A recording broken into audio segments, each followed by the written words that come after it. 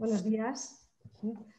As Dean of the Deusto Law School, I'm delighted to welcome you to this international conference of the Jean Monnet Network, EUNAP, on European Union Asia Pacific Dialogue, promoting European integration and mutual knowledge across continents. This network aims to, to provide a platform on European Union Asia Pacific relations but establishing a network of scholars. The project intends to reinforce the mutual knowledge by stimulating joint analysis and research involving not only academics, but also uh, civil society and policymakers in both regions. Our school, the Deusto Law School, uh, has always focused on the international dimensions of law, and particularly on European Union law. Eh, Deusto established uh, the first Institute of European Studies in Spain in 1979, even before uh, we became a member of the European Union. And I would like to highlight that uh, Deusto was the first university in Spain in which European law was taught. Being a pioneer in this field has allowed Deusto Law School to receive several distinctions from the European Commission with several Jean Monnet actions designed to promote excellence in teaching and research in the field of the European Union Studies Worldwide. I take the opportunity today to warmly thank Professor Beatriz Perez de las Heras, who was director for the European Institute for many years uh, in Deusto, and she's also holder of a Jean Monnet chair, also director of a Center of Excellence, Jean Monnet, and now of this European network, a brilliant career devoted to European studies. I would like to express uh, also my, my gratitude today, not only to her, also to the scholars and the professors of Deusto for the support to achieve this network. They are here today in this conference and to all the members of this network from the university partners. All of you have made possible to build up this network. I know that you have planned many activities in the work plan of the network, such as research activities, different events, research stays in the different countries. I hope that the epidemic situation will be overcome very soon with the vaccination process. And this will be a very success network. I express again this uh, gratitude to you for uh, participating in this online event, which I know it will be a complete success, as I say, although the distance. Uh, and I, now it's the moment to, to give the floor to Professor Beatriz Perez. Uh, you can start working on the program, which is very appealing. You all are invited to come to Deusto in the next future. It will be a pleasure for me to welcome you here in, in Bilbao. Thank you very much and have a wonderful conference. Thank you. Thank you. Thank you very much, Gemma, for your words and for joining us at the opening of this event. Uh, we know that you are quite busy as the Dean of the School of Law, so we really appreciate your time and your effort for being with us at this moment. And we also thank you for all the institutional support you provide us in this project from the School of Law. Thank you very much. Thank you. Thank you very much. Right. right.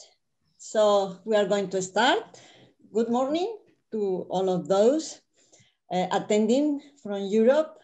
Good afternoon and good evening to those participating from Asia and Oceania.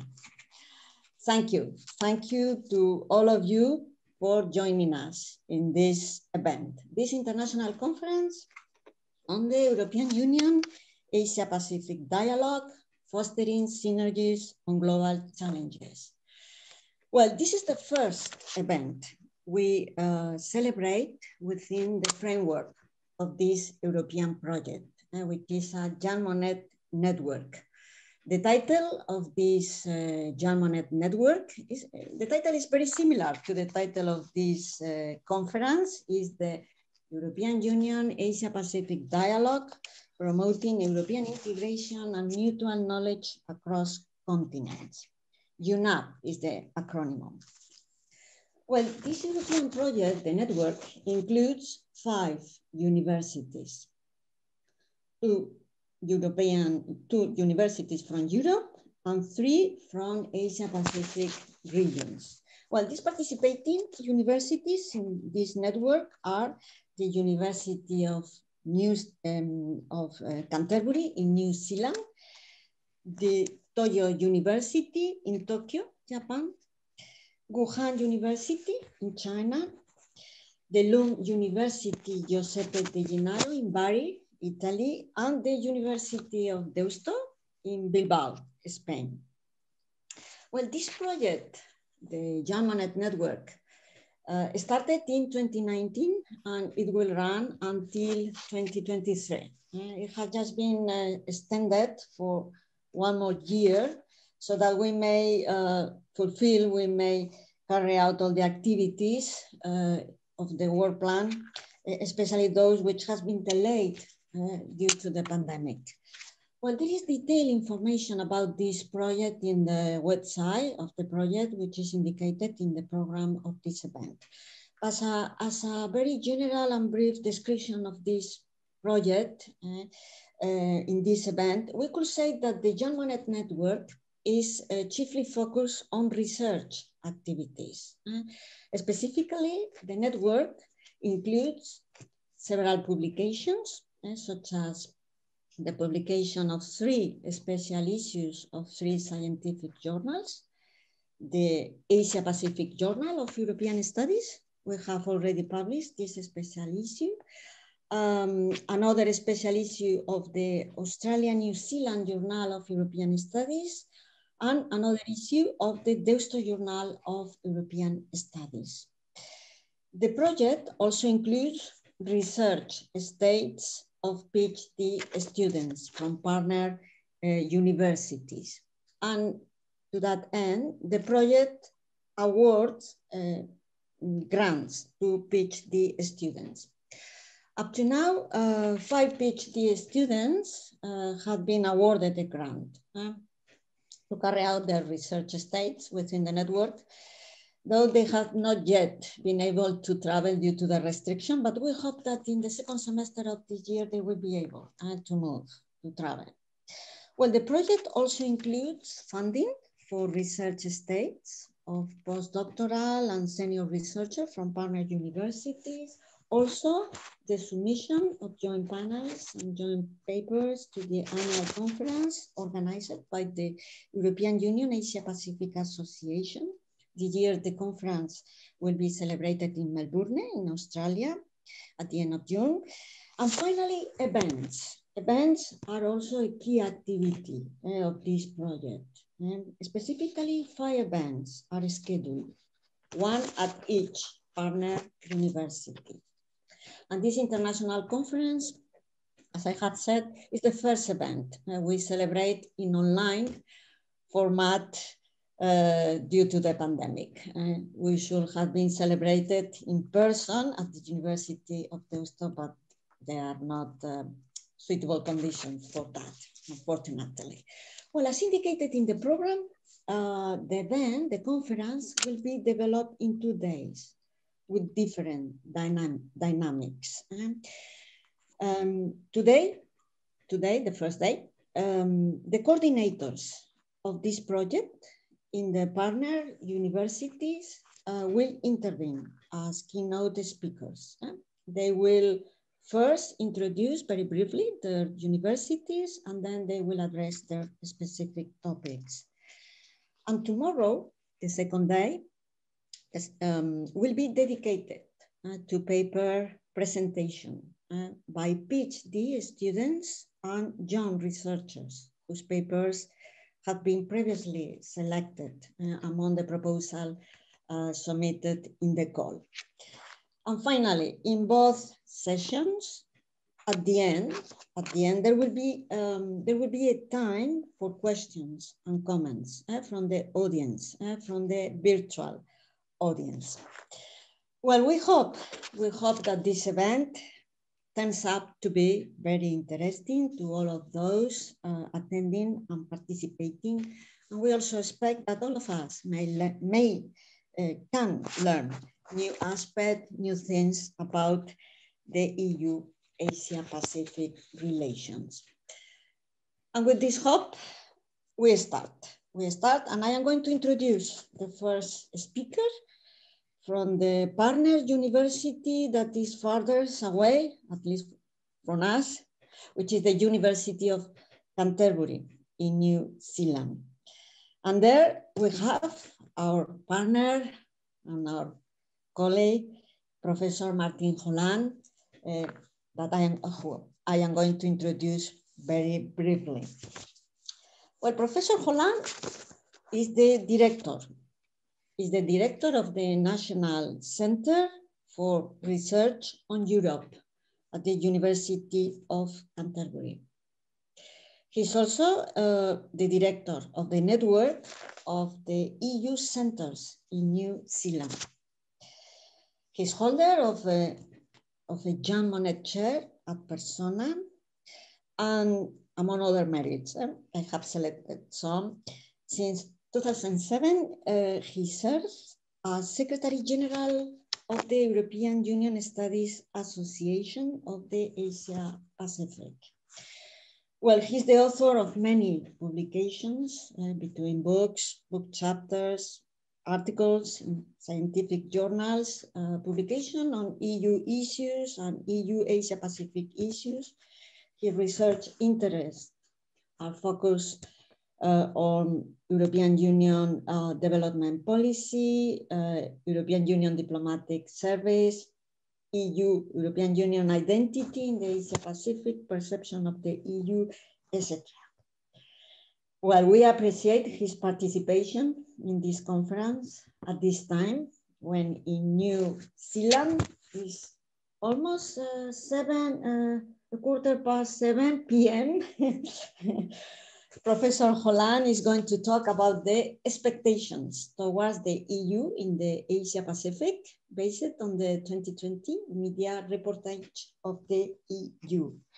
Martin, thank you very much for being with us and uh, you have the floor.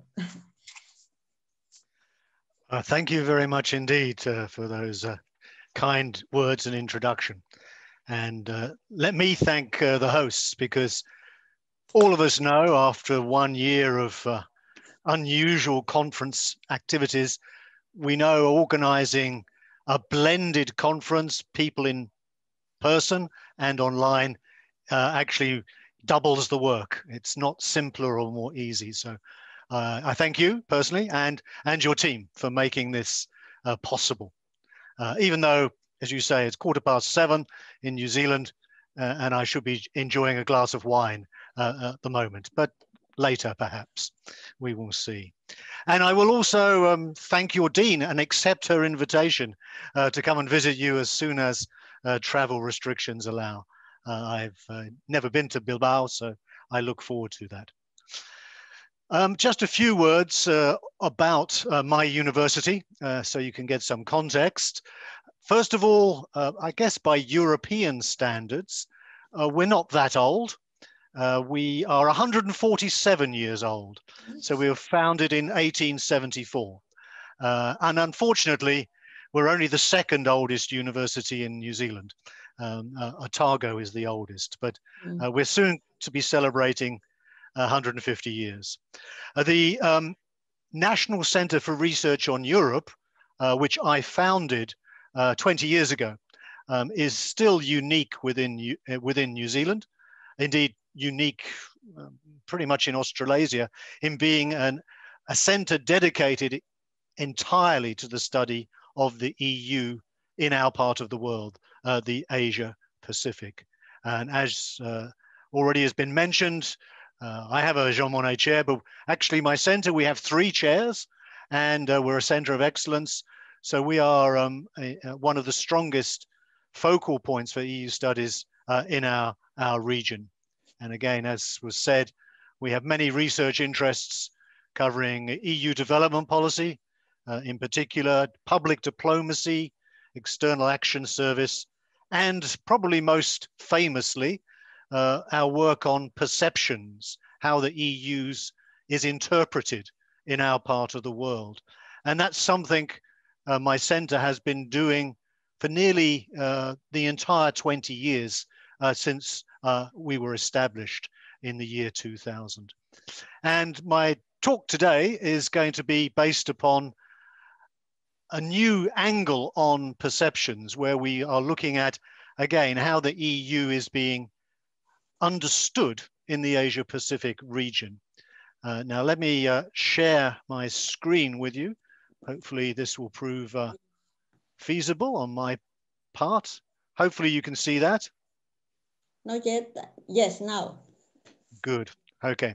Um, first of all, uh, I must say that this is a combined paper with my uh, colleague in Guangdong, uh, Dr. Lai, otherwise known as Cher. And indeed, uh, to be totally honest, she's been the data manager for this project and has produced this uh, colorful PowerPoint. So all of the uh, bells and whistles are down to her as well as anything else. So she deserves uh, more praise than I do, I would say. But as you can hopefully see at the bottom, what I'm going to present to you is a, an, a first year report on our Jean Monnet network, which was awarded at the same time as the, as the one uh, that we're currently in conference with. And uh, it is a purely research-based network. Uh, as it says there, the title being Expect, Re Renewal versus Global Disruption. Um, this, let me move on. I apologize for this slide. Uh, this was my own, not my colleague's uh, slide, but I just wanted to put that up there to probably be a, a warning, a warning to young graduates and a warning also to senior academics that this, because of the way the Jean Monnet funding cycle works, this project was conceptualized um, nearly two years ago in 2019. Uh, and at the time, it seemed really sensible because the EU uh, was still um, coping with Brexit, Trump was still around, Russia has was continuing, and no one had ever heard of COVID-19. So this idea of looking how the EU was responding to global disruption uh, seemed to be an important thing uh, to study.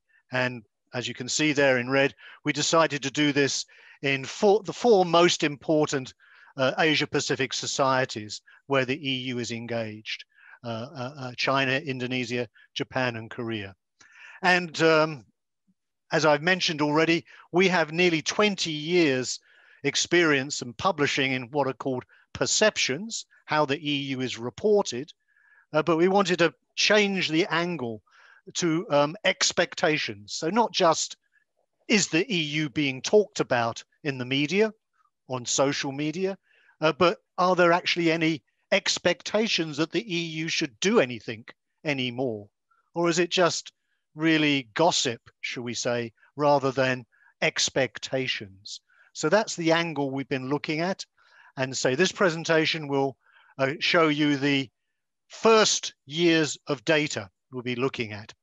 So as you can see here, hopefully, uh, that we are looking at, going to be looking at eventually three types of data. Traditional media, newspapers, the press, uh, social media analysis in each country, and then in year three, interviewing key informants to find out if there are consistencies in expectations in each of these media or, or whether they're rather uh, discrete or indeed whether old-fashioned media is the only one where expectations are really examined or articulated, uh, we will see. So that is uh, the process. So today we're going to give you a quick overview of year one for traditional media and for social media in these four countries. It's I apologize, it might seem a little superficial to begin with, because we want to give you an overview, a big picture thing.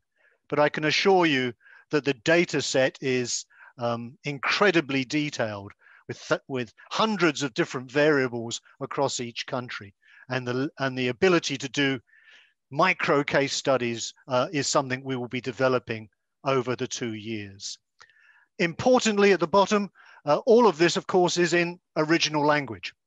So it's we study it uh, in uh, Chinese, Korean, Japanese, etc., and then it is all translated into English for comparative purposes and and for my understanding. I'm the least multilingual of my team. So that's uh, what we're doing, and hopefully what you'll see. These are the newspapers, the traditional newspapers. So the first part I'll talk about will be traditional media, uh, whether that's hard copy or online. And the second part of my presentation will look at social media. But just to give you an idea that uh, these are the types of newspapers we're looking at, we have a certain selection algorithm that will try to make them comparable. Uh, the blanks here for Indonesia and South Korea are simply because we haven't actually finished analyzing the data there. So we haven't included that in this presentation. Um, but in reality, that's what they would look like if you bought the old fashioned form of the newspaper. But of course, we do look at the online facsimile versions uh, as well. So I suppose the to the good news, first of all, whoops, sorry, let's go back. Okay, and something's gone wrong there. Let me go to this one rather. Visibility, um, only looking at the popular newspapers. So this is, uh, if we look at the sum total of stories in this um, four month period of March, April, May, June of 2020, how much EU news was being reported in the newspapers in each of these countries that we're studying.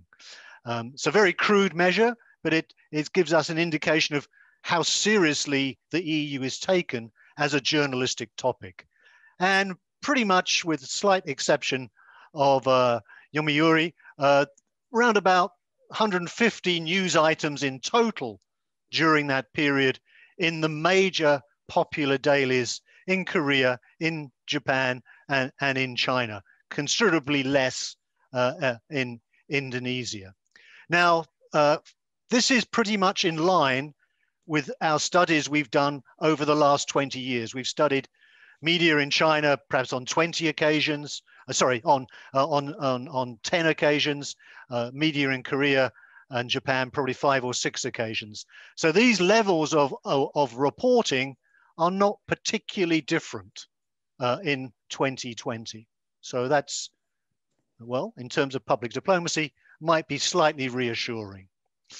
Um, if you look at just the business dailies, which some people say is much more interesting to find news about the EU, we see again a typical pattern, but one that distinguishes uh, Japan, where uh, over, over half of the stories found in the Japanese media we're studying are actually in the business paper rather than the popular paper.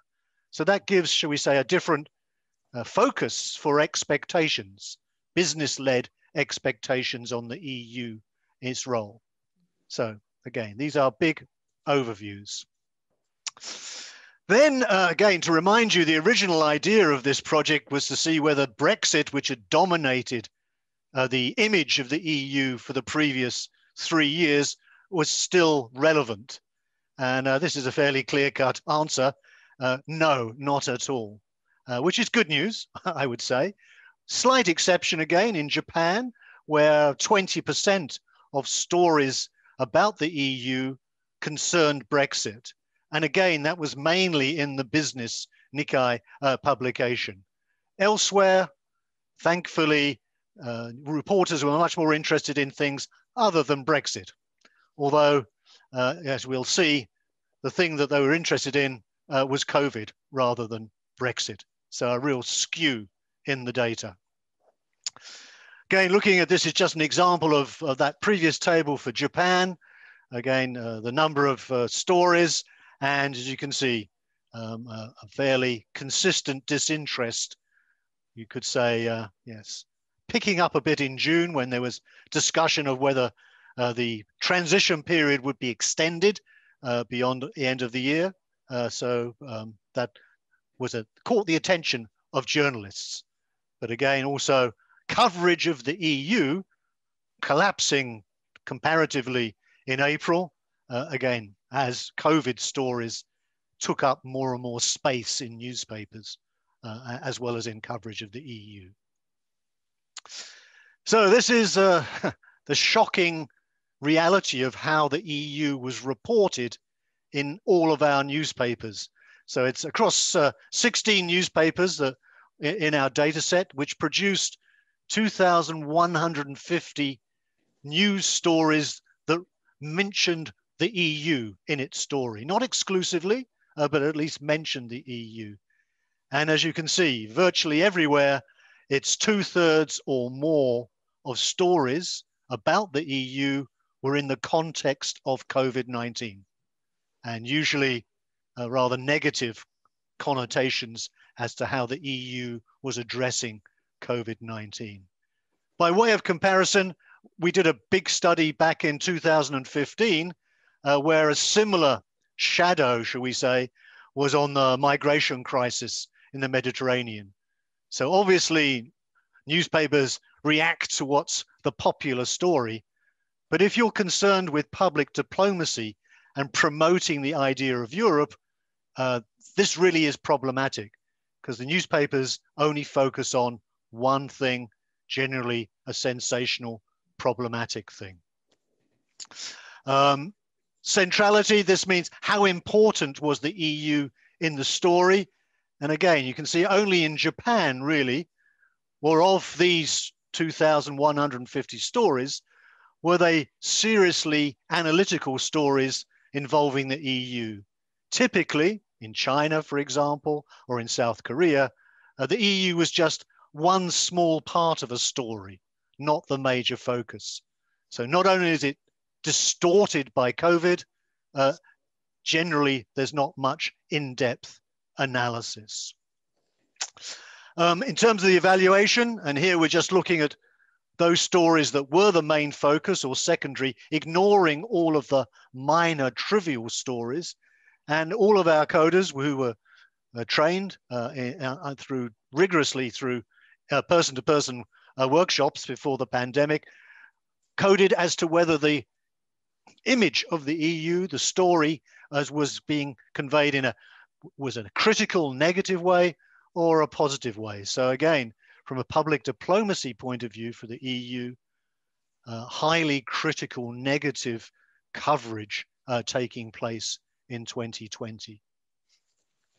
Um, expectations, this again, I said, is actually the key uh, intellectual idea of our research. We want to see it's not just how many news stories are reported. Uh, that is indeed rather trivial. But we wanted to see within the reporting whether there were any expectations placed upon the EU. Were the writers, uh, were they engaging and requiring, demanding from the EU specific sort of actions? Or was actually the EU really rather irrelevant and dismissed as not being worthy of uh, an expectation from China or Indonesia, Japan or Korea.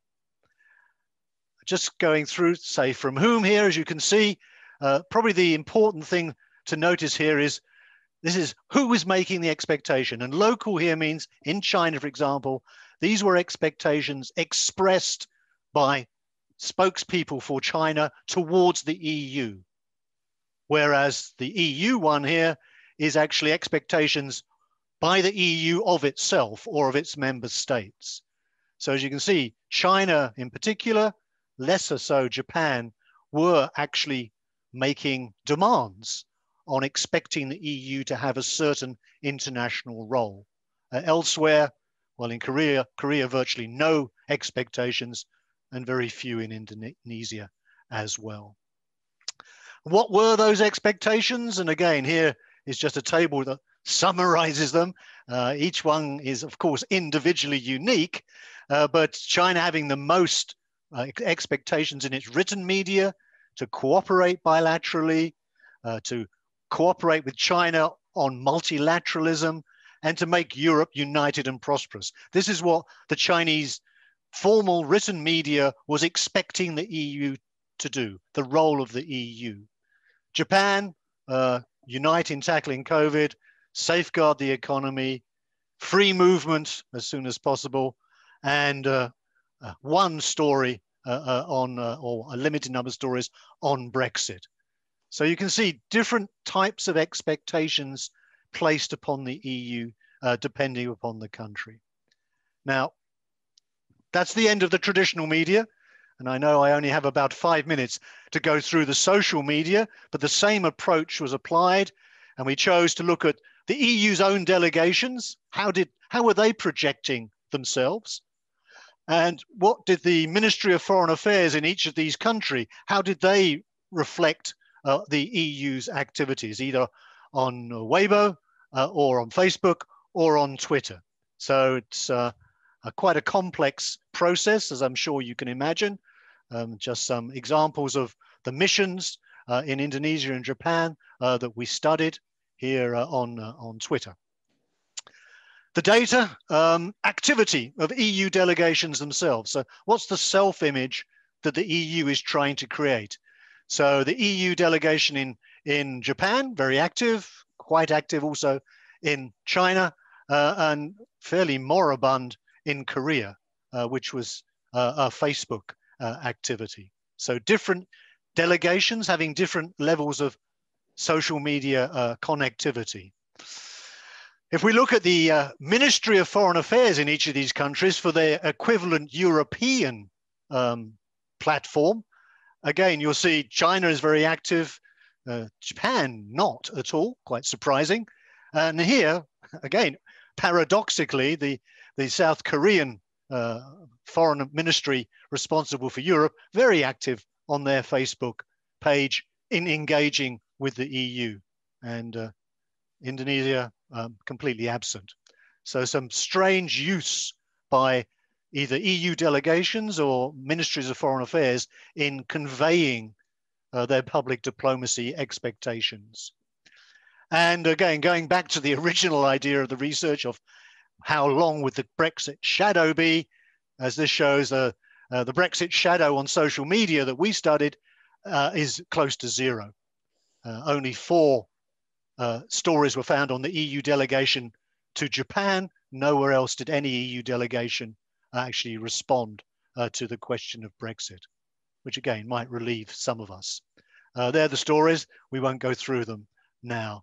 Um, similarly, um, here, look, also, I'll move on for that one as well if I can. This is interesting in the sense, again, looking at the EU delegation. So all of the social media from the four delegations in the region, 754 social media posts. And as you can see, in pretty much everywhere, at least half of the posts were about the EU and COVID-19. So if all the oxygen for public diplomacy was being taken by this one topic. And therefore, should we say, expectations for the EU to have a, a different role as a uh, making the world a better place, development, peace, reconciliation, democracy, human rights, uh, sort of didn't have any space left. It became covered by uh, COVID-19. Um, Similarly here, this is just an example of China and Japan's Ministry of Foreign Affairs. Again, in China, virtually everything posted by the Chinese ministry concerned the EU and COVID, uh, much less so for Japan, where the other posts were about things with, of the EU, not COVID. But the posts were much, much fewer uh, in that country. And uh, again, evaluation, we looked at these posts either in the foreign ministries or on the EU delegations. And again, obviously, this might be self-fulfilling prophecy here, uh, that very positive uh, posting in terms of not neg never negative messages being spent, sent. Even if it's about COVID, your message can still be on what the EU is doing in a positive way. Again, this is all big picture stuff, as I said. What we think the EU seems to believe it's doing is creating its own image here. And you can see it varies according to delegation, whether it's promoting multilateralism or environmental protector or indeed liberal values in Korea and how that transfers uh, to other issues. So this is uh, good news, I suppose, for EU public diplomacy. It's not one size fits all. Brussels decides and every delegation utters the same message despite their location. So these are, if you like, locationally tailor-made uh, images in public diplomacy and setting expectations in public diplomacy. Um, I'm going to go through to the last slide now because I am nearly uh, out of time, just because these are, if you like, some of the general conclusions that the data is starting to generate. I mean, apart from the obvious ones, if you like, uh, of the difference between how the EU sees itself in its public diplomacy and how it's being interpreted by the Asian partners, there's a huge gap in that. Um, and indeed, the dominance of COVID 19 has really distorted any expectations on how the EU might have a better, different role in Asia. Something that you know the global strategy and even von der Leyen have said are, are indeed priorities. That doesn't seem to have happened. Uh, Brexit, as I've said, fortunately has disappeared, and uh, uh, the difference is at least the delegations do still seem to be talking about the EU as a normative actor uh, of trying to put forward values uh, in many areas, but uh, the social media or traditional media in particular are much more pr pragmatic and look trying to look for clear cut expectations of real action across other areas. Which leads to the last two points there, which I think are the interesting academic points that we might want to think about or write around. Uh, you know, is this what we're finding? Is this tantamount to uh, disinterest simply because of bad timing? Or is it pointing to the irrelevance, increasing irrelevance of the EU to the, any agendas in the Asia Pacific? Caused possibly by COVID, but how do you overcome that? Disinterest you can manage. Irrelevance is a more difficult public diplomacy problem.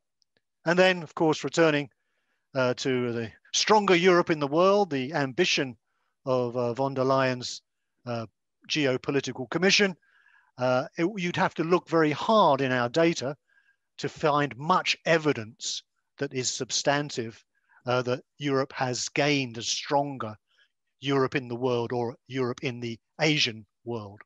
Um, I'm afraid it's a rather negative conclusion. Thank you. Hopefully I didn't go on too long. Um, thank you. Thank you very much, Martin, uh, for this interesting, very interesting analysis eh, about the EU perception and expectation in these four Asian uh, countries. Um, this is, um, at least for me, this is a new and rather unknown aspect for us, the Europeans, eh, that can only be provided by a person from the region of Asia, right? We uh, are more familiar with the EU expectation towards Asia Pacific, but not the other way around. So thank you very much. Yeah. Thank you. Let's see I'll, if there are some, some question or comments from the uh, uh, attendance uh, afterwards about this topic. Thank you. Thank you right. very much. So we move on, and now we move uh, from New Zealand to North Asia to, to Japan, uh, where we have another key partner university, Toyo University, and there we have our colleague and our partner, Professor Hajime Imamura. I am going to introduce him very briefly. Well, Professor Imamura is professor of global entrepreneurship and global creativity for sustainable innovation. at the Department of Global Innovation Studies at Toyo University. Well, um, between 2016 and 2020, he has been serving as chair of the Department of Global Innovation Studies. And also between uh, 2010 and 2020, uh, he has also been, he has been serving as the Toyo University Presidium member in CIRIEC International.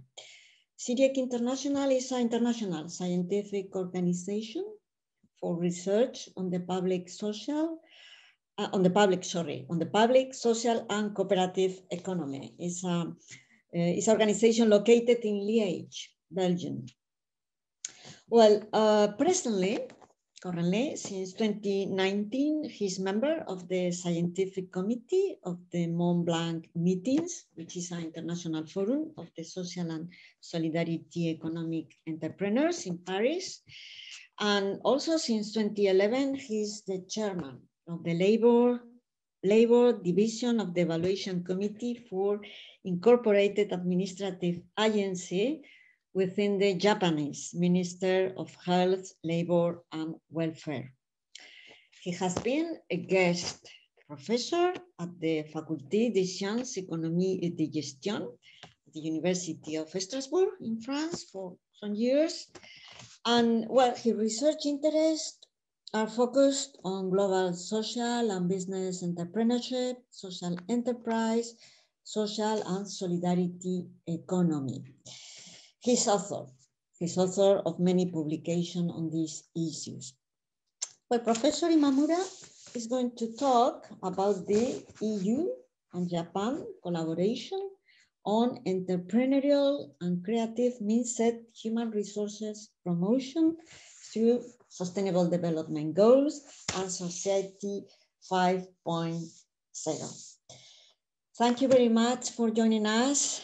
Hime, at this time in Japan is uh, is a quarter to 5 p.m., right? So thank you, and you have the floor. You may you can open the microphone. Right. Thank you. thank you, Beatrice. Uh, thank you so thank you very much for so many uh, introductions, and thank you very much. And I'm very happy to be able to join this and. Uh, uh, I'm a very much uh, uh, uh, love, fall in love in Bilbao. and uh, I visited Bilbao, I don't know, three times or four times already. And mm. I, Toyo University have an international exchange agreement with Deusto University. And also we have a connection with Mondragon University, Mondragon Team Academy project because of that, uh, as uh, Beatrice uh, introduced me, that as I'm teaching a global entrepreneurship and global creativity for innovation. So MTA is a very good partnership for our education and research too. So uh, let me share my PowerPoint uh, here. I'm not sure if I can do this well. Can you see my PowerPoint? Yes, okay. yes. Sorry, it's just I was Yes. Uh, okay. Is it uh, on the full screen or? No, it's not full screen. But, ah. Um, okay, just a moment. Yes. I should. Just a moment. Uh, okay, so I will. Let me read again. Yes. Just a moment. No, I'm just uh, trying to uh, make my presentation more uh, easy to read while my presentation. Just a moment. Uh. sorry. Okay.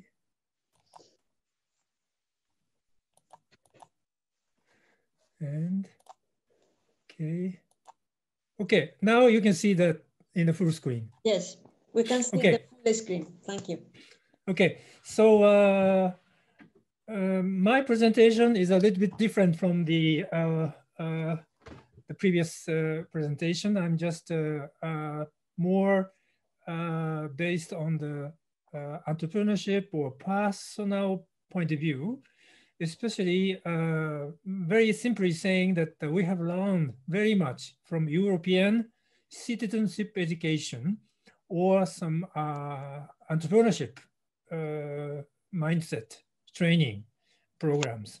So uh, this time I'd like to introduce that how Japan will be uh, benefited from this uh, collaboration with the European Union and uh, uh, Japanese economy having a problem of the power of innovation. So let me see this. Uh, so I don't know uh, if uh, Tokyo Olympic will be uh, uh, executed or not, but this is the picture of the Tokyo torch. Tokyo torch is not yet finished, but this is a, some sort of the iconic story of Japan changed from its uh, uh, traditional bureaucratic uh, management system to more horizontal, participatory, democratic decision-making system. I think that basically you have learned from the European way of the uh, democratic participation decision-making systems. Why?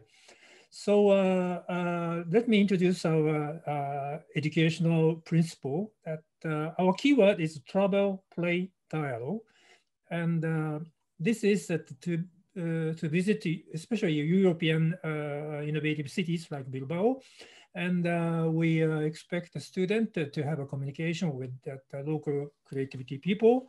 And then the, I'd like to explain the play is some later, but uh, proper play dialogue is our basic principle and basically learned from Europe. And as you know that uh, Japan is also locked down since uh, uh, last year, uh, very sometime.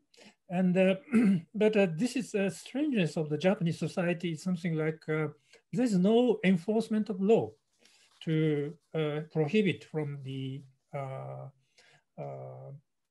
say the stay at home.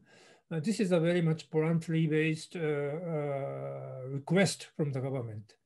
But it worked it worked. This is a past history. Now it's a we still have a problem, but uh, so uh, I'd like to do uh, my research work with this uh, project is that uh, how uh, European people and Japanese or Asian people consider that the public space and the comparison between the public space idea between Europe and Asia and Japan could be an interesting way to analyze. Especially I put forwards for this uh, uh, hypothetic uh, keyword, creative public space design. This is also gives us that, will give us some solution from the post-COVID-19 creation of the neighborhood proximity uh, way of the uh, global collaboration. So I will, I will explain very briefly later, but so uh, um, so uh, how to design the creative public space is our keyword. And uh, our aim of education in our department is that uh, entrepreneurship, which are very much uh, uh, serious mindset of the public space. Why? I we put up uh, hit upon the idea of the public. So please look at this. so the public idea in European people and Japanese people are completely different. So this is a comparison of the dictionary explanation between the uh, English dictionary and the Japanese dictionary. So in the Longman Contemporary Dictionary, they explain that the public is that do not work on the government or who do not work for the government or do not have important jobs.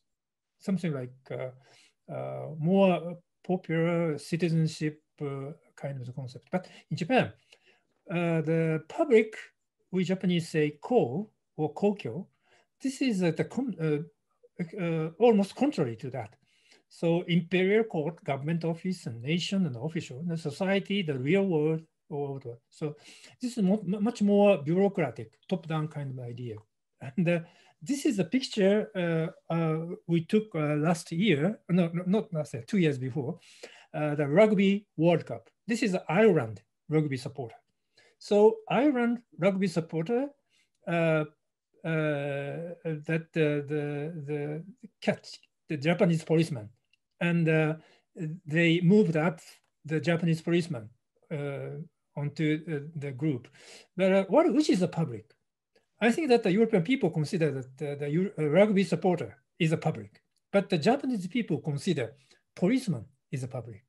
This is a very much uh, uh, significant different idea of the uh, public concept between Europe and Japan, especially that in England, public school is not a public, but a, a private school.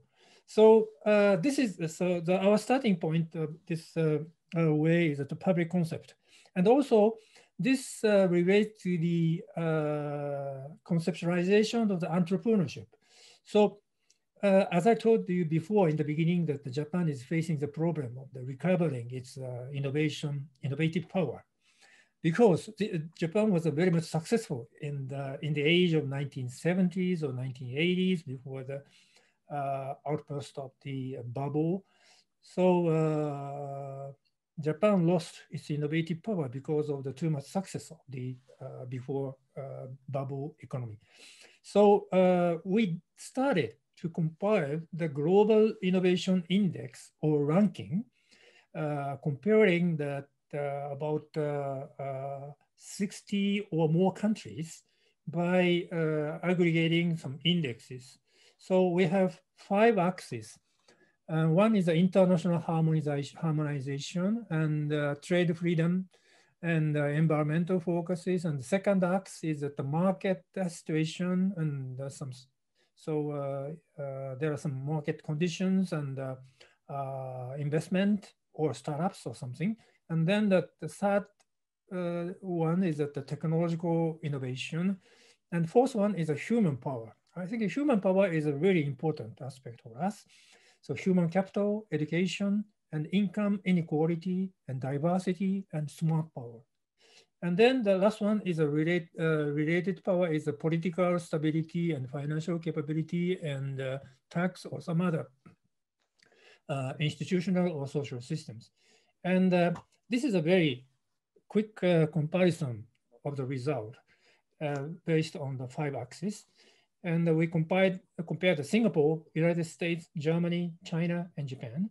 And uh, uh, you see that Singapore is the number one ranking of this uh, global innovation ranking, and the shape is very much balanced.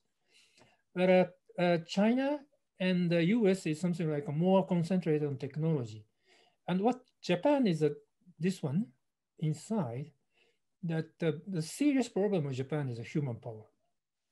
So uh, Japanese human power among those five nations is the lowest. And uh, we have a very serious problem of the human power. And then, sorry, and uh, what is the problem of our human power is that uh, here, like Japanese people have very, sorry, here, that share, sh share of the student who want to work in their own business. So startups. So this is the lowest here. And then uh, the education is basically good, but the diversity, especially for the here, here, the, uh, the labor force participation rate female or female uh, share of the employment in the managerial positions and percentage of female numbers of uh, parliament here, around here is the lowest compared to those countries. So this is our starting point of how we can uh, create uh, by comparing from other countries, especially Europe, uh, to change our innovative uh, ecosystem. So as you may know very well that the Japanese employment system is based on the one-shot recruiting system and the lifetime employment. So this is the cause of the uh, problem of the uh, less innovative management system or human resource systems. So uh, this is because of the, I will explain very quickly that this is a pyramid type and uh, lifetime employment and internal labor market uh, management is a Japanese problem. And also, uh, this is a comparison between Europe and Japan. So Japan is a more bureaucratic top-down communications like X type. And Europe is more horizontal uh, dialogue and very equal footing communications like uh, EU says that the dialogue and compromise, so you are always trying to dialogue and uh, uh, goes into the uh, compromise or some sort of the agreement. So this is a comparison between Europe and Japan. So this is that the Japanese people are avoid confrontation and uh, emotionally unexpressive here, Japan, and Korea is very close to that. And then that the Israel, France, Spain, and Italy is around here. So emotionally expressive and uh, confrontational. So uh, we consider this kind of the less uh, uh, expressive way of the communication is a Japanese problem for future innovation. And also Japan is not a good uh, interest for the foreign investors into Japan. So uh, foreign investors think that the Japanese market is very much wonderful but uh, they consider that the Japanese human power is very much serious problem, especially lack of human resources foreign language ability and difficulty in finding experts. So uh, that uh, basically, including Europe, they consider Japan as a good market for selling their products and services, but they consider Japan as a good partnership for the real business uh, operations because of the lack of the uh, enough uh, human resources as a partnership.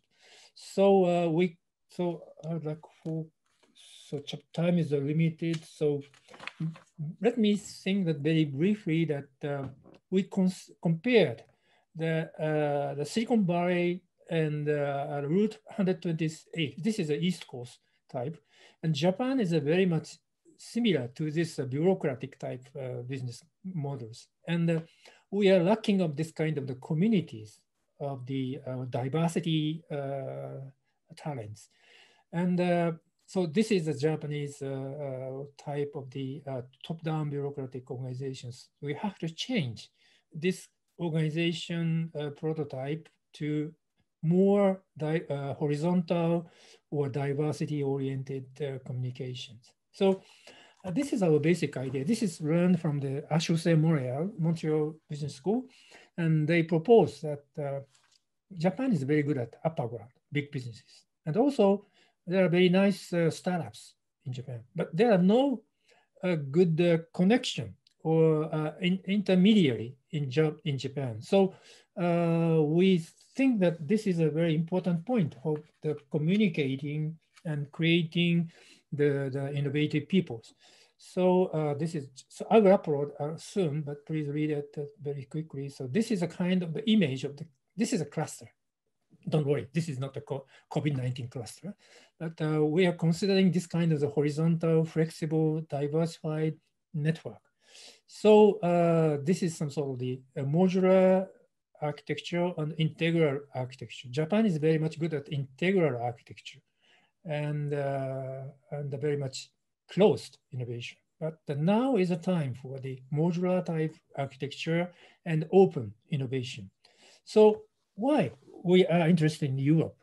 This is a Mondragon cooperatives in uh, Bilbao, uh, Basque, and uh, they have some sort of the cooperative government structures based on the uh, democratic participatory uh, structures and uh, sorry, this is sorry, this is a, a, the stock company. Sorry, this is a normal stock company, and shareholders uh, occupies the organization. But this is Mondragon type.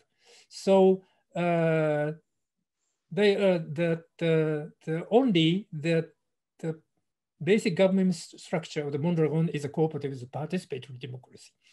And this is a very uh, interesting point for us to learn and the General Assembly and together all the membership is at the, uh, discussed in this General Assembly. And also we learned from the idea of the Northern European countries and the co-production, democratic participation and uh, participating the public service production from the citizenship. So uh, this is uh, some, uh, uh, so this is some result from the, the Swedish comparison that cooperative type uh, production is very much satisfactory and uh, also the working people are very much satisfied. And then this is a picture of the uh, Reggio Emilia education in uh, uh some, uh, this is Östersund, the middle Sweden, and I visited there. And then the, the, the very much citizen participation to the public service provision is really strong. And then they say that nothing is impossible to solve the social problems. And also uh, in France, uh, uh, you created that uh, the social solidarity economy law in 2014. So this also invites the citizenship uh, uh, empowerment enrollment to the public service provision. And also, the, this is the, the, we are very much interested in the service of general interest in the EU. And this is something like a bottom-up, more democratic idea of the uh, uh, some public interest services. So, uh, so all services in Japan are designed and provided by top-down bureaucratic uh, organization, but Europe is very interesting that uh, they create bottom-up participatory and sometimes they have to uh, compromise, but the, the, democratic dialogue process is very much interesting for us. So uh, there are many ways of the creation. And uh, uh this is some sort of the uh, SGI, Service of General Interest Framework in EU in 2011. So we are very much interested in this uh, activities in EU. But uh, contrary to that, in Japan, we have a failure of coordination of governmental policy and local community initiatives. And uh, I will skip very briefly that, uh, uh sorry, I put so many uh, PowerPoint, but I will soon, uh, I'm sure I will upload and send Beatrice this PowerPoint. And so what is a citizenship? Japanese citizenship is very much weak and initiative is very weak. So we have to learn from Europe. And so uh, the citizenship education, especially in Sweden or uh, Northern European countries and uh, also in Holland, Netherlands, uh, is very much interesting. So uh, how we can create a dialogue by the uh, citizen initiatives is really our interest. So this is also the peaceful education programs in Netherlands. We did a research on that. So uh, time is limited, so four minutes or something. So travel, play, dialogue, I introduced that. So we started to educate Japanese young people more uh, competent in the uh, innovative activities. So this is that, uh, yes, this is Bilbao and Florence and student visit to uh, Europe and trained to be a creative socio-economic values and teamwork entrepreneurial mindset and the international business culture. And uh, we did this kind of communication with European entrepreneur or business peoples and cooperative peoples. And then they got that responsive, brave, and positive mindset. This is one way of uh, our education. The second is brave. And this is that we invite a Japanese actress in uh, working in the, on the stage in London and we did uh, some uh, communication skill training for Japanese people using uh, English uh, uh, communication exercise. So, so this is some reaction from the student and they are very much confident in speaking English dialogue. So this is one next challenge of the play challenge. And also we do a creative business communication platform named a Queer Toyo, Creativity Toyo program, pro program, and we invited Cirque Sorry, the circus uh, production, and other big business peoples from other abroad, and uh, Japanese students I enjoyed very much for communication with this, and uh, they are very satisfactory for this. So, uh, what is a way of uh, recovering Japanese economy after COVID-19? So we put our emphasis on communicative ability of Japanese young people. Traditionally, they are very much hesitate and very much uh, passive to do a communica uh, communication. So uh, this is the innovation ecosystem, and one of the I put from this uh, uh, from the internet, and uh, we try to start the design thinking processes and this is a society 5.0. This is a kind of the concept of the technology and uh, uh, citizenship, uh, society, social life is go hand in hand. And uh, this is not uh, some sort of the uh, technology oriented the policy. And we introduce a more social aspect in our technology policy. And we try to using the technology to comfort high quality lives and vitality and and uh, cope with the digital transformation. And uh, this is uh, Society 5.0 is aims at to achieve the SDGs. So we try to contribute to the, that uh, global uh, social economy, uh, sorry, economy and society. And uh, finally, this is the end of my presentation. And uh, as uh, this is a way of comparison that Japan is created, Tokyo is created as a capital at 1603 from the Tokugawa shogunate. And this is a very much top-down kind of creation, but this is remaining still in current Japan. So this is, uh, let me introduce that this is a very much iconic, typical uh, change before COVID-19 and after COVID-19. So this is, left-hand side is the, the high skyscraper, skyscraper construction model before COVID-19. This is a closed, top-down, and very much uh, non-human like uh, aspect. But the right-hand side is this they changed the design of this uh, Tokiwabashi project into right-hand side. You see that there are more open and uh, human aspect is included because that uh, the architect in Japan uh, notified that, uh, that, that you have created the closed and crowded and close contact settings and then we found that the, in Japanese tradition that, uh, that we have a very much uh, excellent airflow construction. And then uh, we arrived. So this is a very similar, you see that uh, we have a in our tradition that uh, the more uh, flow, airflow and creative way of change. So this is a Tokyo torch. And so I think that I'm sorry that this is the exact comparison between EU and Japan, but uh, uh, I would like to propose that uh, creative public space design learned from the European civil society uh, construction uh, with the combination of the digitally uh, advanced technology.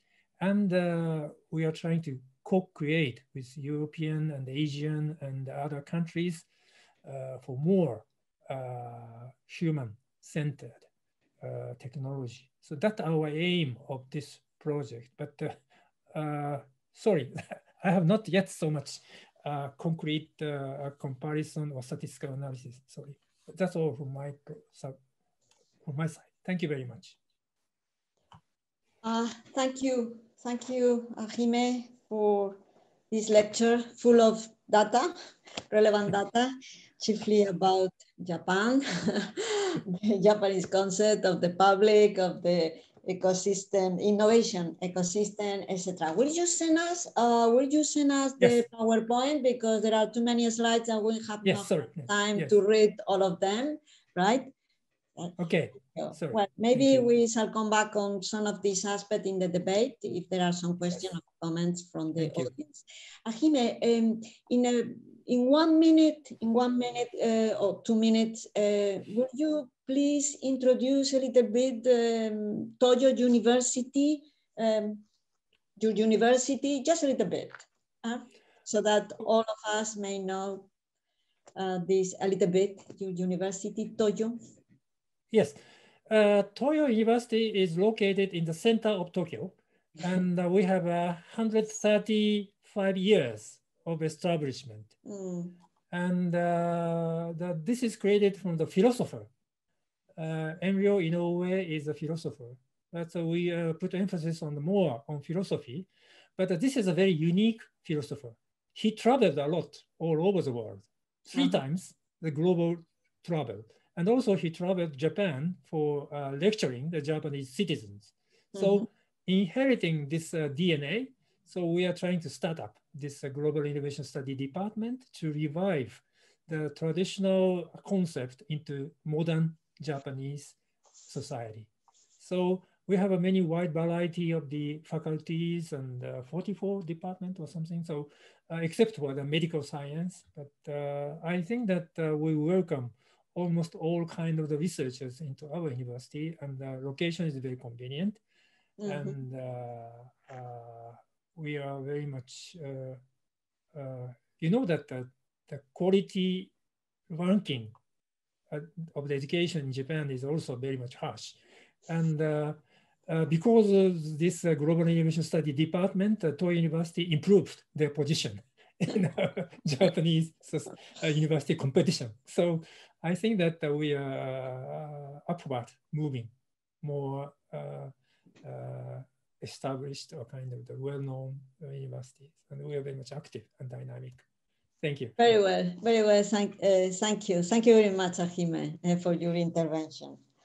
Right, so now we, we travel from Japan to China, uh, where we have uh, University, another key partner in this uh, network, in this project. And then we greet our colleague, uh, Professor Fan Xiaotong. Uh, I am going to introduce him very briefly also. Well, uh, Dr. Fan Xiaotong is professor. He's professor at the School of Political Science and Public Administration at Wuhan University in China, where he's also executive director of the Center for Economic Diplomacy. He also serves as a member of the Advisory Committee for Economic and Trade Policy at the Chinese Minister of Commerce. Uh, in fact, between uh, 2004 and 2010, he served as uh, the Chinese mission to the European Union in Brussels. Well, his major research interests are focused on economic diplomacy, geopolitics, and European studies. And he's the author, he's the author of many publications on these issues. Well, Professor Fang is going to talk about the open regionalism, China's Belt and Road Initiative, linking up with regional organizations in Europe and Asia uh, Pacific.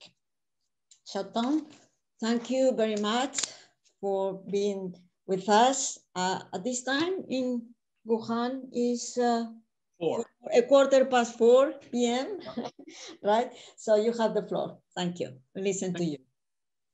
Thank you, Beatrice. Um, it's um, a great pleasure uh, for me um, to talk about um, on the EU China connectivity.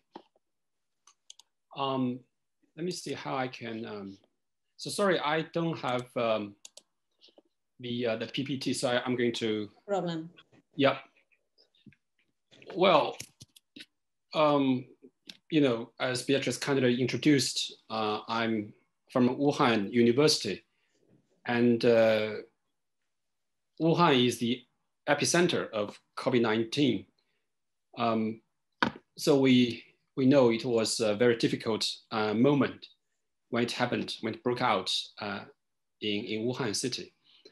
Um, Wuhan city has a population of uh, 10 million people. Um, and uh, 1 million are students. So, so Wuhan city has the largest number of, uh, of students in the world. So it has a lot of universities. Uh, one of them is uh, Wuhan University, which I honored um, to serve for, for, eight years from 2012 to uh, 2020. Um, so I think that it's um, great honor uh, for me to represent Wuhan University to, to talk here about uh, uh, EU-China uh, connectivity efforts. Um, we know that uh, China is the EU's biggest trading partner in 2020. The US is the second um, biggest trading partner for EU. Uh, and EU is China's second largest trading partner, uh, only after ASEAN. So we are having very close uh, economic and trade uh, relationships. Uh, however, um, the political relationship between China and EU uh, is turning sour uh, because of uh, issues like uh, relating to uh, Xinjiang autonomous region, uh, relating to Hong Kong, relating to Tibet. Um, and China views these issues as sovereignty issues. Um, that means China has no room for maneuver or, or compromising. Um, so we are seeing a dichotomy between economics and politics between China and the European Union, uh, which is unfortunate. When I worked as trade attaché uh, in the Chinese mission to the European Union in 2004 and 2010, um, our political relationship between China and EU uh, is generally was generally good. We were having a honeymoon uh, since 1995 until 2005. But after that, because of all kind of reasons, our relationship is getting uh, more and more uh, difficult. Um, the, the, the, so there, there, there remains a puzzle. So why there is a, um, a gap between economics and politics? Uh, is that all uh, due to uh, China's political system or, or due to uh, EU's emphasis of, uh, of uh, values, or there's something um, bigger. Um, I think there are some some some, some voices which is a little bit uh, distracting. Um, ella hará una valoración y luego ya... Es, es, let me, no, I am going to call them, don't worry. So, so there, there is such a, a, a puzzle. I think that we need to uh, understand uh, why there is such a puzzle. It's something within uh, China and EU's domestic systems, or is something uh, beyond, something IR researchers prefer to call it systemic uh, variables. So I think that there exist both uh, that contribute to this puzzle. I want to emphasize um, today's world is uh, very different from the world we were familiar with. Um, there's something that I would uh, call uh, new realism for describing today's world's uh, politics and economics. So we are not, no longer uh, uh, in a very harmonious political and, and, and economic uh, relationship. Politically, we are seeing more and more geopolitics, um, like uh, in, in, in, in Europe, uh, the, the new European Commission um, labeled herself as a geopolitical commission. So I think this is a very interesting sign of geopolitics is coming back. Uh, the European Union doesn't want to be a playground um, of big or great powers. The European Union wants to have its own strategic autonomy, wants to have its own uh, strategies, maneuvering, maneuvering uh, in today's uh, new more and more realist uh, world. Um, and China's BRI is more and more, a Belt and Road Initiative is increasingly perceived as a ge geopolitical tool, uh, whereas Chinese policymakers uh, wants to avoid uh, that BRI is being labeled as a geopolitical tool. Um, and in, in, the United States, uh, we were seeing the dark days of, of Trump administration, uh, practicing unilateralism, uh, bullying, um, you know, or, or, bad memories, and and and COVID-19. So the world is experiencing um, economic uh, recession. So this is something I would call uh, new realism of world's politics. And economically, I'm seeing more and more competition among economies. Um, people are talking about uh, reducing strategic dependencies. People are talking about uh, autonomy. People are talking about uh, vulnerabilities of the supply chains. These narratives were not so familiar when, when I was in Brussels or, or, or compared with uh, 10 years ago. So we are now experiencing what I call uh, competitive interdependence. So geopolitics plus competitive interdependence are now making the world becoming a neo-realist world, which is very different from a neoliberal world or, or liberal institution, institutionalism uh, back in 1990s. Um, of course, there are different uh, ideologies, different political systems, different cultures. Um, we know that uh, EU very much on, on human rights, uh, on labor rights, on environment. And uh, that, I think that uh, the EU's perception of these core concepts is very different from China's understanding of these concepts. Very different from when China talk about human rights, China emphasize the right to develop, the right to get richer, the right to get bigger house, better life. Uh, so in other words, um, China emphasized a lot on the materialist improvement of human lives Whereas the EU emphasized a lot on um, something more soft, something uh, relating to people's minds. So I think there's, there's big difference. Um, well, I, I, want to give you a few um, case, case studies that can make us better understand why there is such a puzzle, why there's such a dichotomy between economics and politics in EU-China uh, relationship.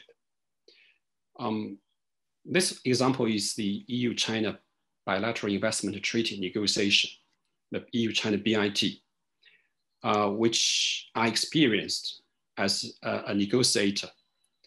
Um, I think it's, it's very interesting if we go back to the origin of this EU-China BIT. I think that the EU, the European Commission officials approached me uh, back in 2009 when, when Lisbon Treaty was ratified. Uh, the EU uh, wanted to negotiate with China a standalone investment treaty. Why? Because the investment, the FDI, foreign direct investment, has become a new competence for the European Union. It used to be the competence of member states for example, Germany signed a lot of uh, bilateral investment treaties with, with individual countries outside the European Union. Uh, between EU member states and China, we have over 20 bilateral investment treaties. So why bother to negotiate a EU-China BIT, right? Because the EU-China BIT emphasizes a lot on market access, on investment liberalization, uh, on something what we call pre-establishment national treatment and the negative list. Uh, so there's something new that beyond the traditional FDI competence, which was owned mainly by member states.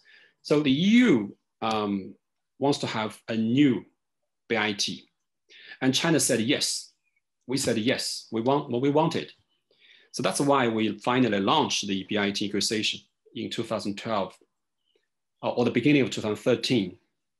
So I think that was the origin of the EU-China BIT.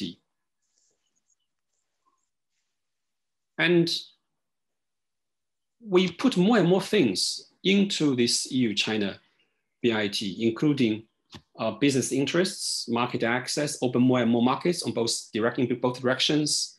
We put inside a negative list model we put inside uh, pre-establishment national treatment.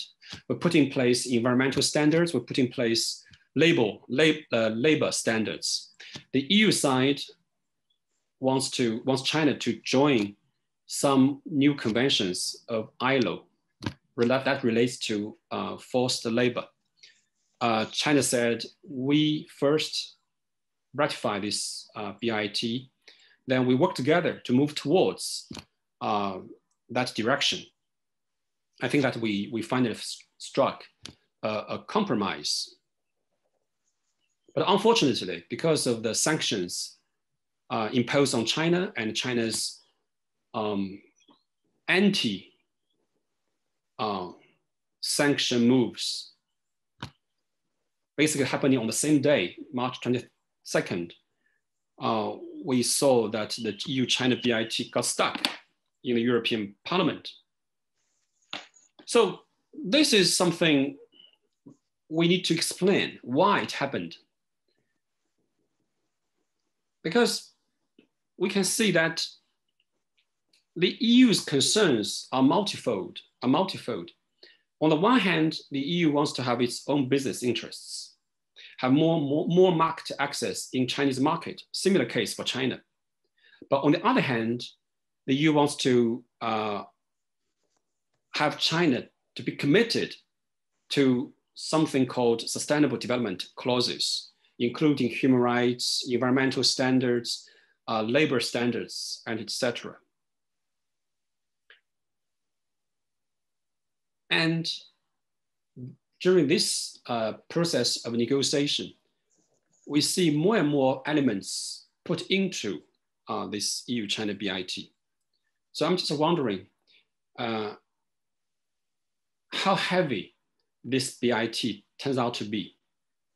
So in, in today's neo-realist world, we have too many concerns. We have business concern, we have human rights concern, we have environmental concern. We burden ourselves with too much. We, want, we burden our trade negotiation with too many elements. For the EU side, trade is not just trade. Trade is trade plus. Trade is everything. Trade is human rights, trade is environment, trade is international institutions, trade is, uh, is carbon, trade is, uh, it should be green. Uh, on the Chinese side, uh, we say yes and no. We say trade is trade. We can accommodate trade plus, but we cannot accommodate politicalization of trade. So I think that can explain the, uh, the, the, dilemma we are now faced with. The second case study uh, is the um, something what, what I call competing connectivity projects, competing connectivity projects. So we, we, we know that China launched the Belt and Road Initiative back in 2013, basically nearly 10 years ago. And uh, that was largely a response to American Asia pivot back in 2009. Um, and now we see the world's having more and more versions of, uh, of connectivity projects, right? The EU launched the EU Asia connectivity strategy in 2018. And uh, recently the council um, issued the council conclusions and pushing forward uh, EU version of Indo-Pacific strategy. Mm. And, and the United States issued the Indo-Pacific strategy during Trump days. And India, Southeast Asia, uh, ASEAN, Japan, um, Indonesia all have uh, their own versions of connectivity projects. And now Biden administration is uh, making huge investments uh, on, on infrastructure. I mean, ideally, these connectivity projects should be complementary to each other because nobody can single-handedly address the issue of connectivity, right? Um, that, that requires trillions and trillions of, of, of dollars. Nobody can do that single-handedly, uh, in particular in the difficult moment of economic recession globally. So ideally, it should be um, complementary connectivity. But unfortunately, we are seeing competing connectivity. I think uh, this is probably due to the globally, we are now in economic recession. We're experiencing difficult uh, days of, of due to COVID-19.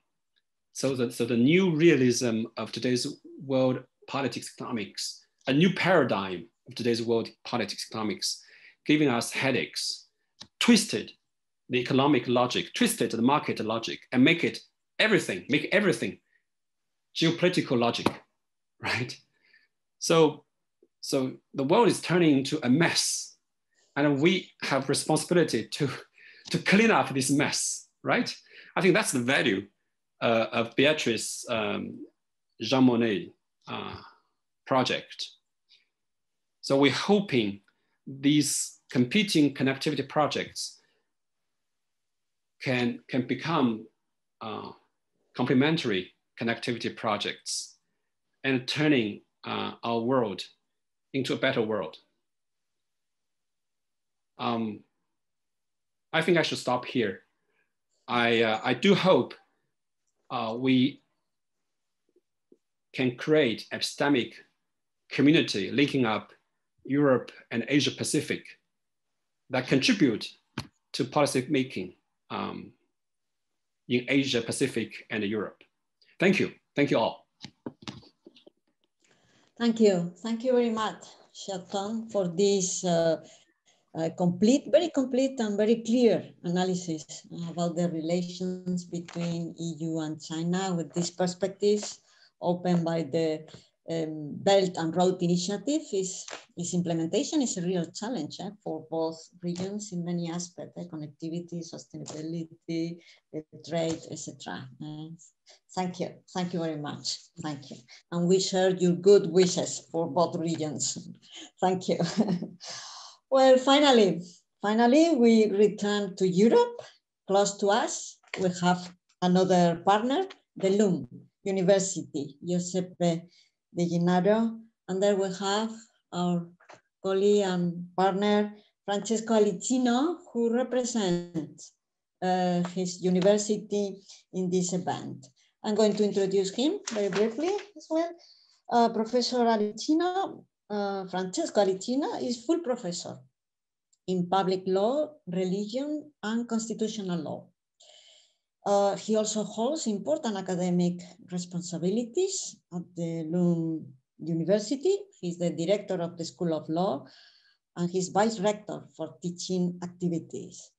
Uh, outside the university, he also has important responsibility as a member uh, at the Italian Council of the, for the relationship with Muslim communities within the Italian Home Affairs Ministry. He's professor at the Mislan of the School of Governments in LUISS University in Rome and a member of the Institute of San Pio V in Rome. Well, he has uh, participated and he's still participating in several international research projects like this one. And he's the author of many publications, books, articles, uh, having been published in Italian, French, and English.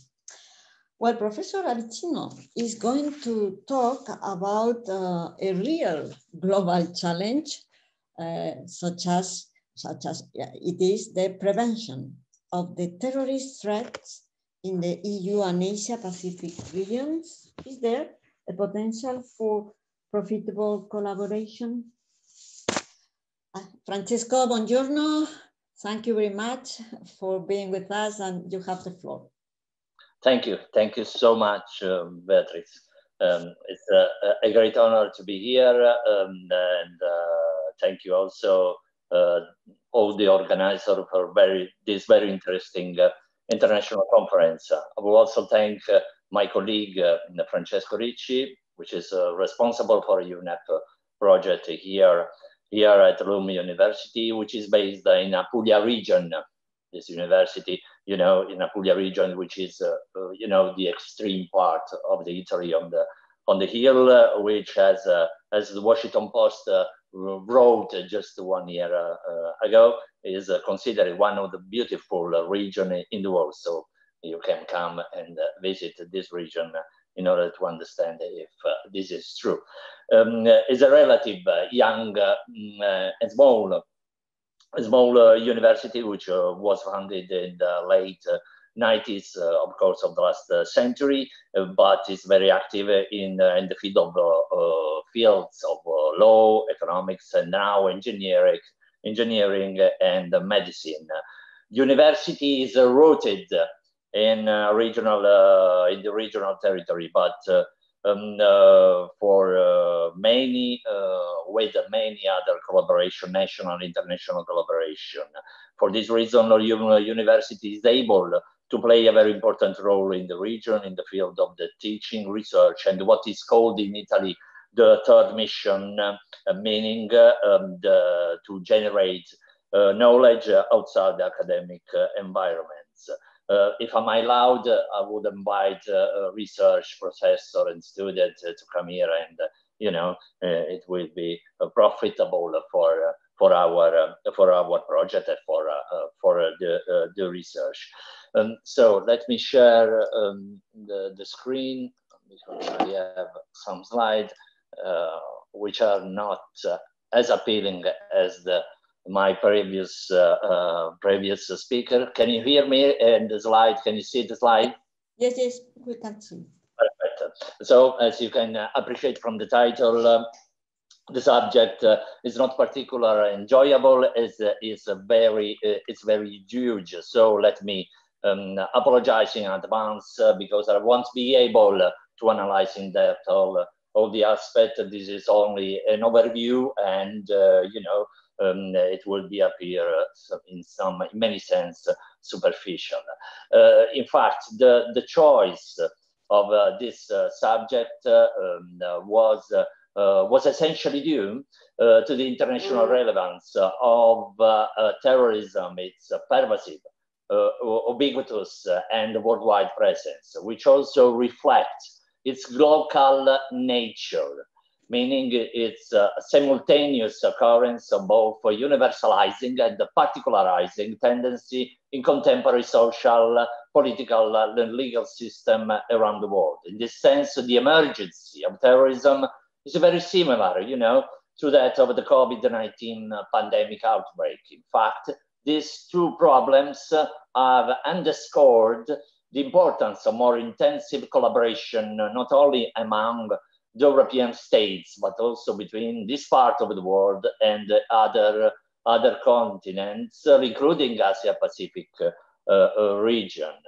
Uh, however, the collaboration should not be an end in itself, as you know, which also explains the second part of the title of the presentation that for the same reason needs to be clarified.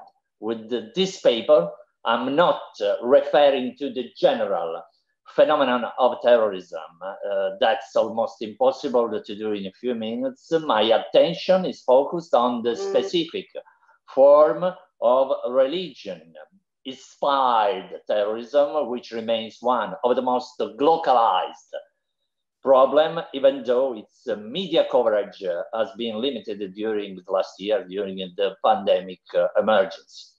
It uh, does not mean that the so-called Islamic terrorism has become less aggressive and threatening.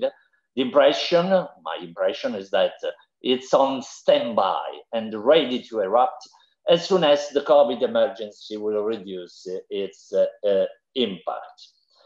Under this aspect, uh, it should be noted that the Islamic terrorism has a different uh, impact on Asia Pacific uh, states. Uh, in Australia, for example, the, the, strategy to prevent and contrast militant and violent religious radicalization has been comprehensive and involved huge legislative changes which somehow have affected the protection of constitutional rights. But if the majority of uh, Australians are unhappy uh, about this, it appears only because they do not believe that the state, the Australia, uh, Australia has gone uh, far enough in this field. Um, uh, New Zealand, on the other hand, has observed the rise of the global or international terrorism from a distance, um, although it has been part of some international moves against it. This is because given the internal, some internal factors, including uh, factors, including the geograph geographical position, no external driving terrorist events have occurred on New Zealand soil until now. In this case, the terrorism, uh, terrorism threats continue to be domestically orientated, so they continue to be treated as normal criminal offenses without any religious connotations. Um, so these cases uh, enable to focus another important indicator. Despite the common ideological matrix, religion-inspired terrorism manifests, as you know, as I said, in uh, different ways. This depends not only on the local factors, but also on the policies adopted by the government to prevent and contrast the terrorist threats.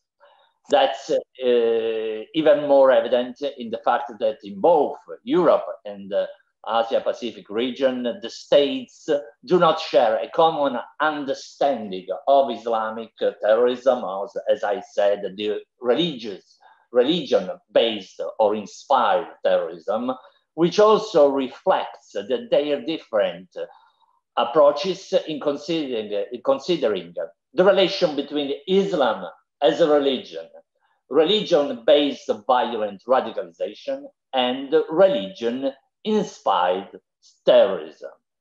For example, um, the European Union identifies the violent radicalization in those behaviors that uh, aim at, quote, glorifying and justifying terrorism, as well as those acts that aim at disseminating messages or images online and offline as a way to gather uh, support for terrorist uh, causes or to seriously intimidate the population, end quote.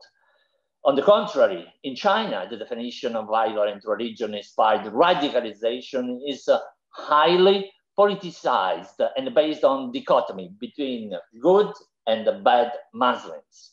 The national and local authorities consider moderate on genuine Islam something that uh, should be tolerated, while political Islam should be separated from the former and uh, rejected by society.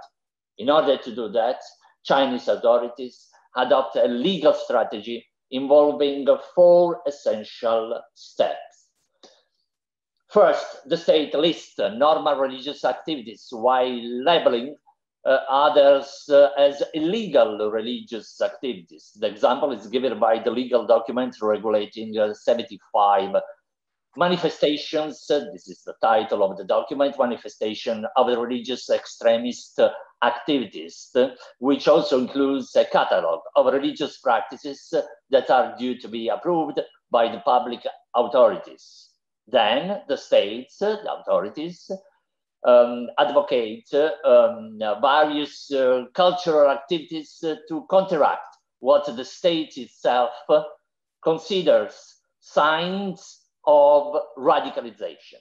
At the same time, public authorities uh, encourage Muslims to consume cultural products made up and promoted by the state itself, even though they might be appeared really appear religious inappropriate, so that even the passive resistance against these uh, cultural products could be regarded as a sign of radicalization. The definition of illegal religious uh, activities is thus broadened to include condition for defining radicalization, which leaves little room for Muslim groups to interpret uh, Islamic precepts mm, uh, in their own way. Um, in this manner, the state's unilateral recognition of bad and good Muslims risk um, falling in what is called the no true Scotsman's fallacy, under which the perceived quality of religious groups is defined on the basis of universal generalization. The fallacy is here due to the fact that rather than providing evidences to qualify this generalization, the state's legal documents and relative practices and the relative provisions um, offer other generalizations that support, support the first one. At the same time, these documents and relative provisions exclude empirical data and counter examples that are able to disqualify the state's presumption on religious terrorism and radical extremism. In fact, this living fallacy is a result of the need of, to implement the idea of the, um, the idea of the uh, Chinese authorities on the state secularism, you know, the principle of secularism, the secularism of the state, which uh, implies um, a separation between churches and the states uh, and, and, the state.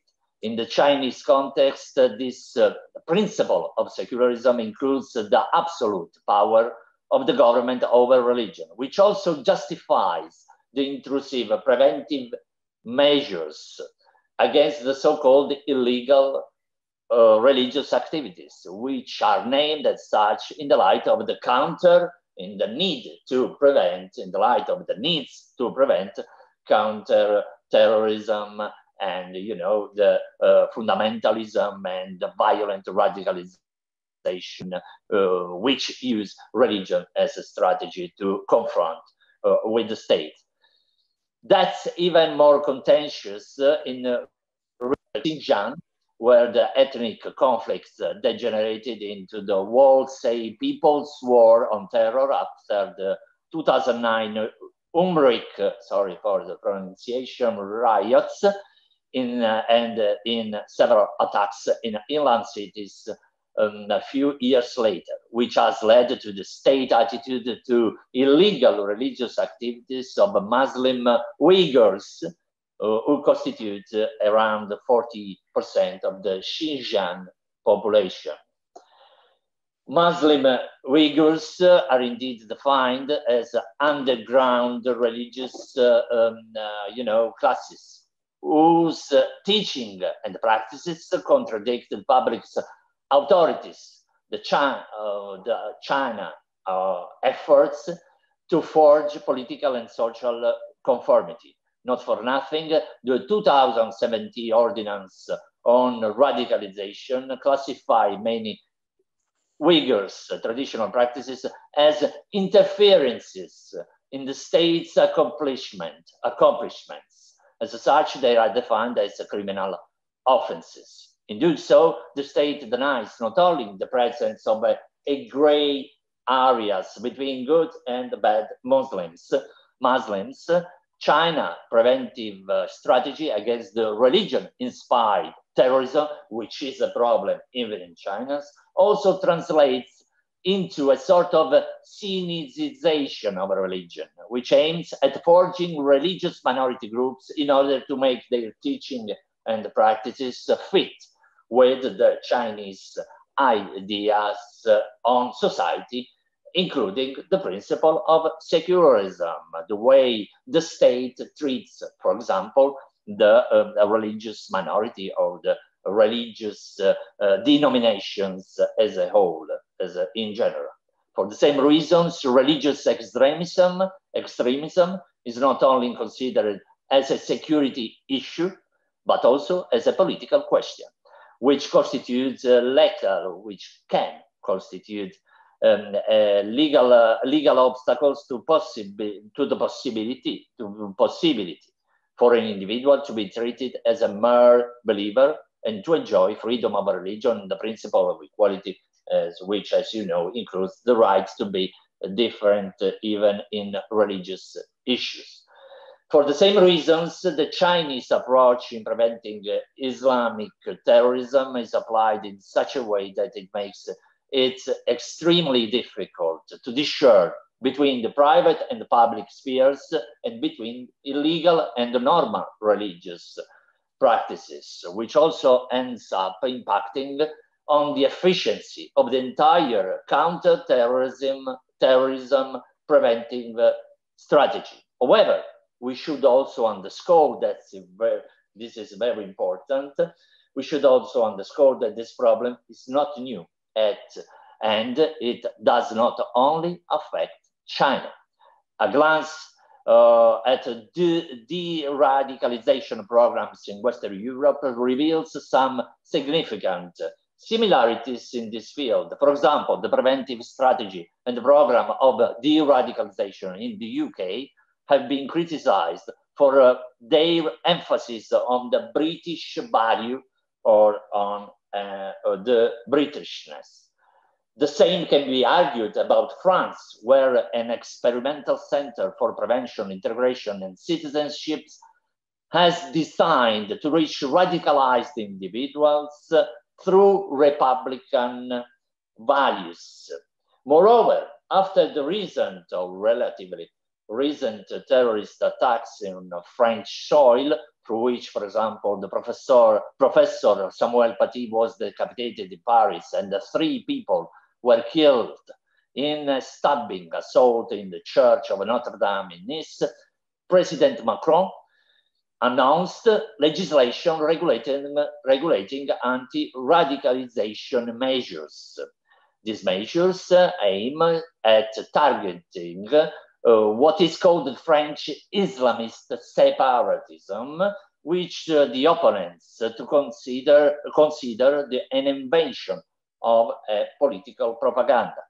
Macron has also asked, asked the, uh, that the country Muslims, um, uh, Muslim leaders accept a Republican universal principle, les principes fondateurs de la République, which include the laïcité de combat, which in turn could be roughly translated into militant secularism, implying, as I said, a strict separation between the state and the religious denomination, but in French also implies a sort of assimilation, integration policies, especially towards Muslim, Muslim mm-hmm. communities and Muslim individuals. So, Going uh, um, uh, on the conclusion um, in, in this sense, uh, sorry, um, in this sense, um, it should be noted that this approach is not only a part of the French attitude over counter-terrorism. It is in fact affirmed in many European states' legislation, including the Italian ones. The example is given by a sophisticated legal system of preventive measures which aim at protecting public order in a phase prior to the commission of a crime. It should be noted that this system is a result of a long and intense history, as you know, of struggle against um, Italian criminal organizations, such as those referring to mafia, Camorra, and uh, 'Ndrangheta.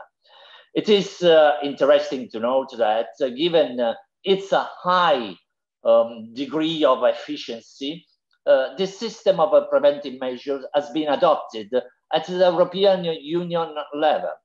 Uh, and it is, uh, it, is, it is not by chance that this system is government is governed, sorry, by the anti-mafia code whose measures after the terrorist attacks occurred in France, especially in France in 2015, can also be applied for, for preventing, uh, for contrasting the current form of Islamic violent radicalization and uh, uh, religious, uh, uh, religious um, terrorism. The basic idea that supports this preventive measure system is that the protection of fundamental interests of the states, like the maintenance of a good level of security against some very important potential threats, such as terrorism, you know, justify the fact that the crime prevention should act in an earlier stage than crime um, uh, repression. In other words, the system of preventive uh, measures gives the state the, the possibility to limit the constitutional rights of a person, including the right to freely profess a religion and to travel freely in any part of the country.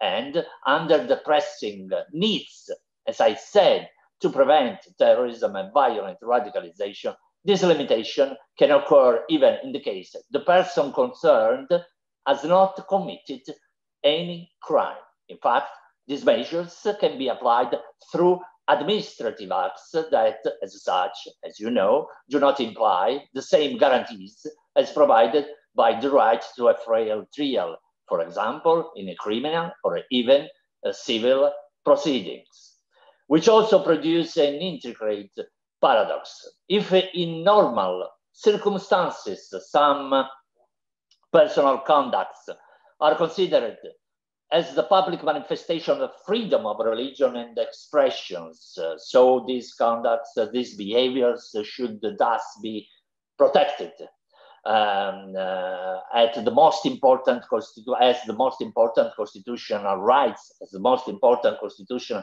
values, as it, it is in Italy, uh, in Europe, or in France, in the UK, you know, in the in the so-called constitutional democracies.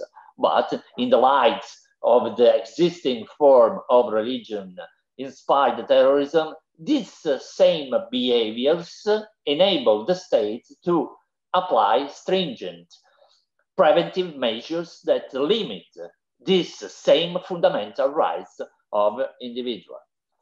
That is the paradox. So, in conclusion, as you can see from this uh, brief, very brief uh, presentation, all the experiences coming out from the Asia Pacific region and Europe in the prevention of religion inspired terrorism raise some common problems. This includes the fact that this kind of terrorism as uh, are um, uh, these kinds of uh, are um, extremely dangerous and difficult to defeat. This because this uh, this kind of emergency is very unpredictable because their perpetrators use their trick shots to take the police forces by surprise and from many, uh, you know, public and private areas, spaces. In this sense, like the COVID-19 pandemic emergency, the religion-inspired terrorism unlines the empirical interdependencies of different parts of the world, like those referring to Europe, you know, European Union, and the Asia Pacific region. In order to contrast and prevent this phenomenon, information that is very this is very important. Information between mm, must be shared between these two parts of the world and between competent authorities, relative competent authorities, which also implies critical challenges that, in the light of the dignity of human beings, um, uh, may be translated into opportunities. But in order to do that, all legal system involved should engage into a clear dialogue, which implies an in-depth mutual understanding. So in a very conclusion, in, uh, in this manner, China, for example, can learn that the prevention of terrorist threat must necessarily mm, uh, coexist with the respect of human rights and the constitutional prerogatives, including those related to freedom of religion and the rights of minority groups to freely profess their tradition within the limit of the public orders um, and the protection of the rights and the freedom of others.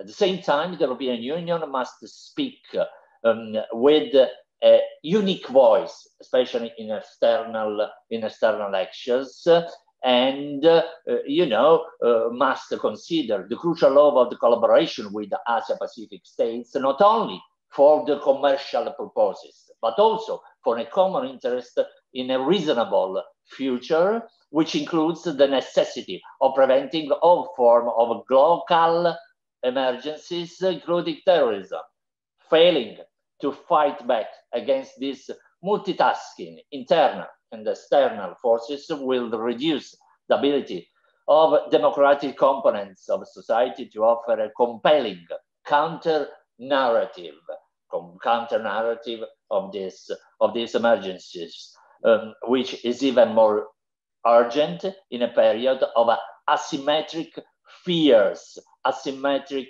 you know, asymmetric emergencies and in a period, in a, era of socio-economic uncertainties and exclusions under which the politics of fear, as I said, are very active and likely to persist. Thank you so much. I think I, I stay in the, in the time. Right, thank you very much, Francesco. It has been a very, very interesting analysis uh, about the religious uh, uh, terrorism, right, and the counter uh, terrorism strategies in the European Union and some European countries such as Italy, France, China, in Asia. Uh, this is a, a, real, a real threat, uh, very difficult to defeat, as you have pointed out. Because of that, it's very important the international and in this case, the interregional um, the interregional cooperation. Right. Thank you. Thank you very much. Great. So we have already eh, a lot of ideas, a lot of information, new knowledge provided by the speakers, our partners, eh, about different issues um, on EU-Asia Pacific relations. Uh, so now with all this contribution, uh, we are going to open a time for uh, for discussion and for mutual dialogue. Uh, so any, uh, any participant, any attendant now uh, may address any question or any comment to the speaker. Well, to that end, I will appreciate if you first, please uh, put your hands up. You may, at the bottom of the screen, uh, you may uh, click on a hand just to ask for uh, for intervention, right? And then I will appreciate um, if uh, any person want to address any question, please open your camera, uh, open your microphone, of course, and introduce yourself very briefly uh, and address the question or the comment to any of the speakers. So well, we open now this time for discussion. Hmm?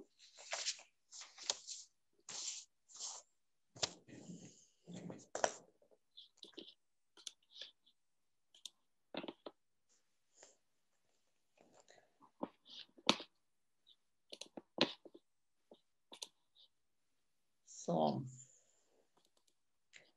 here at the bottom, um, well, mine is in Spanish.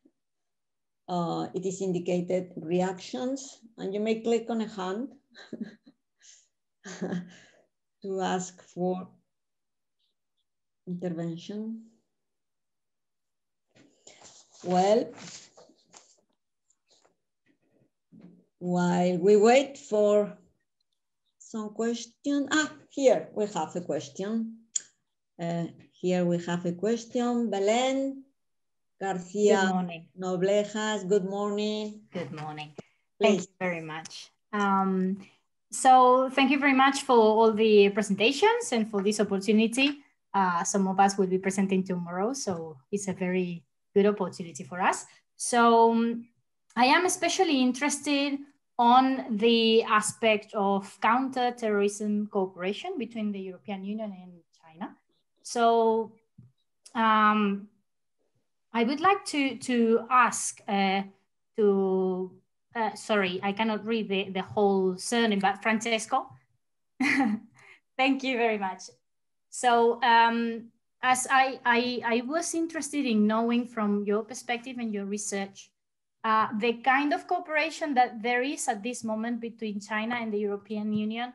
Uh, what is it about at this moment, if, if you know, and also how that how that is affected by the conceptualization of the threat itself. Say in China, we've got the three evil forces, right? Or the origin of separatism, extremism, and terrorism in a single term, uh, which is the three evil forces. So how does this original perception in China of the threat affects or may affect the, the collaboration, maybe more pragmatic co collaboration, if that makes sense.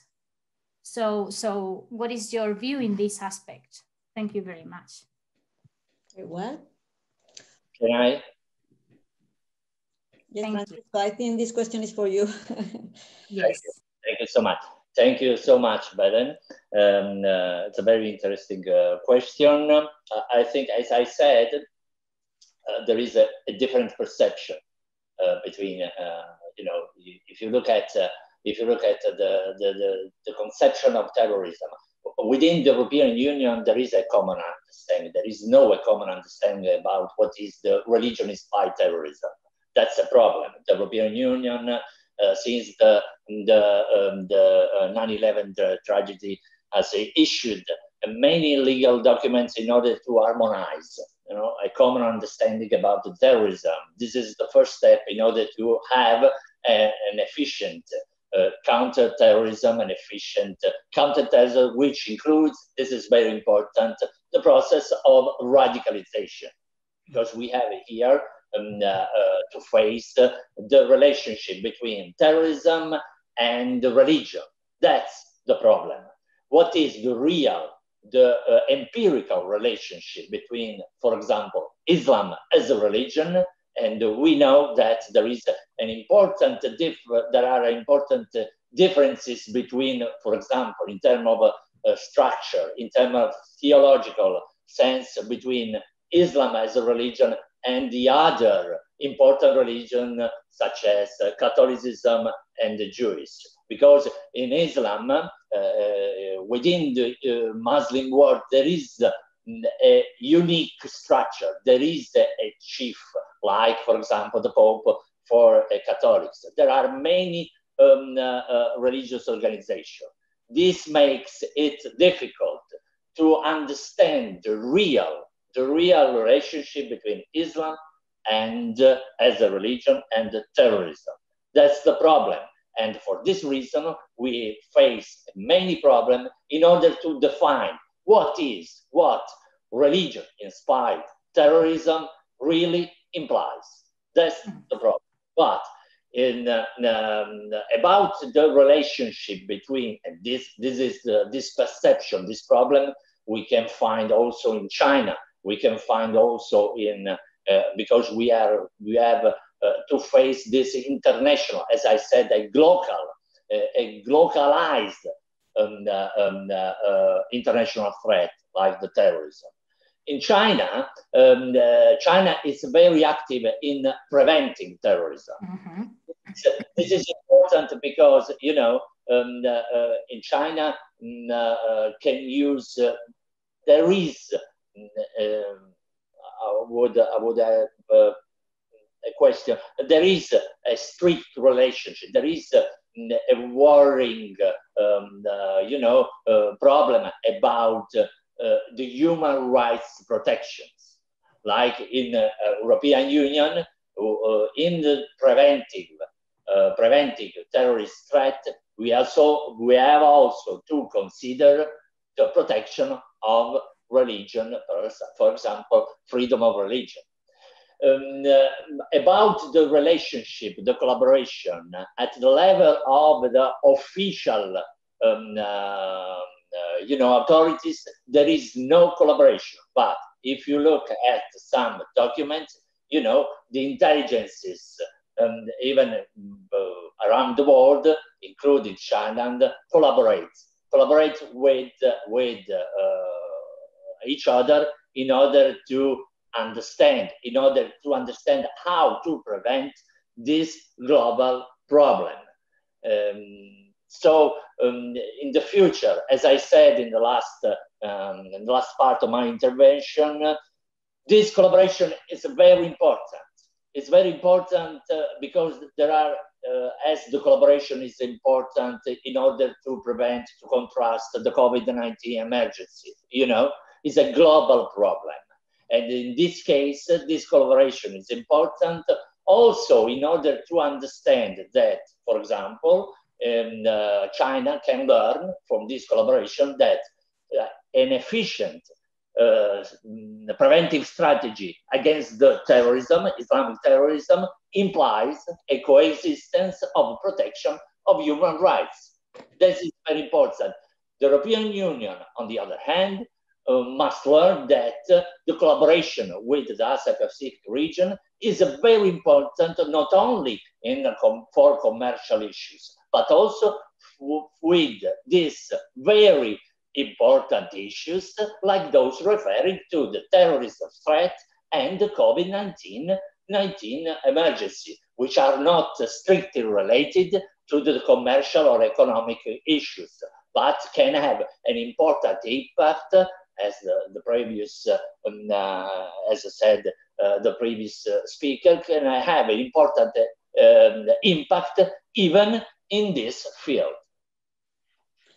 Very well. Uh, we have two, two other questions. I think that the first hand is from Anna Gascon.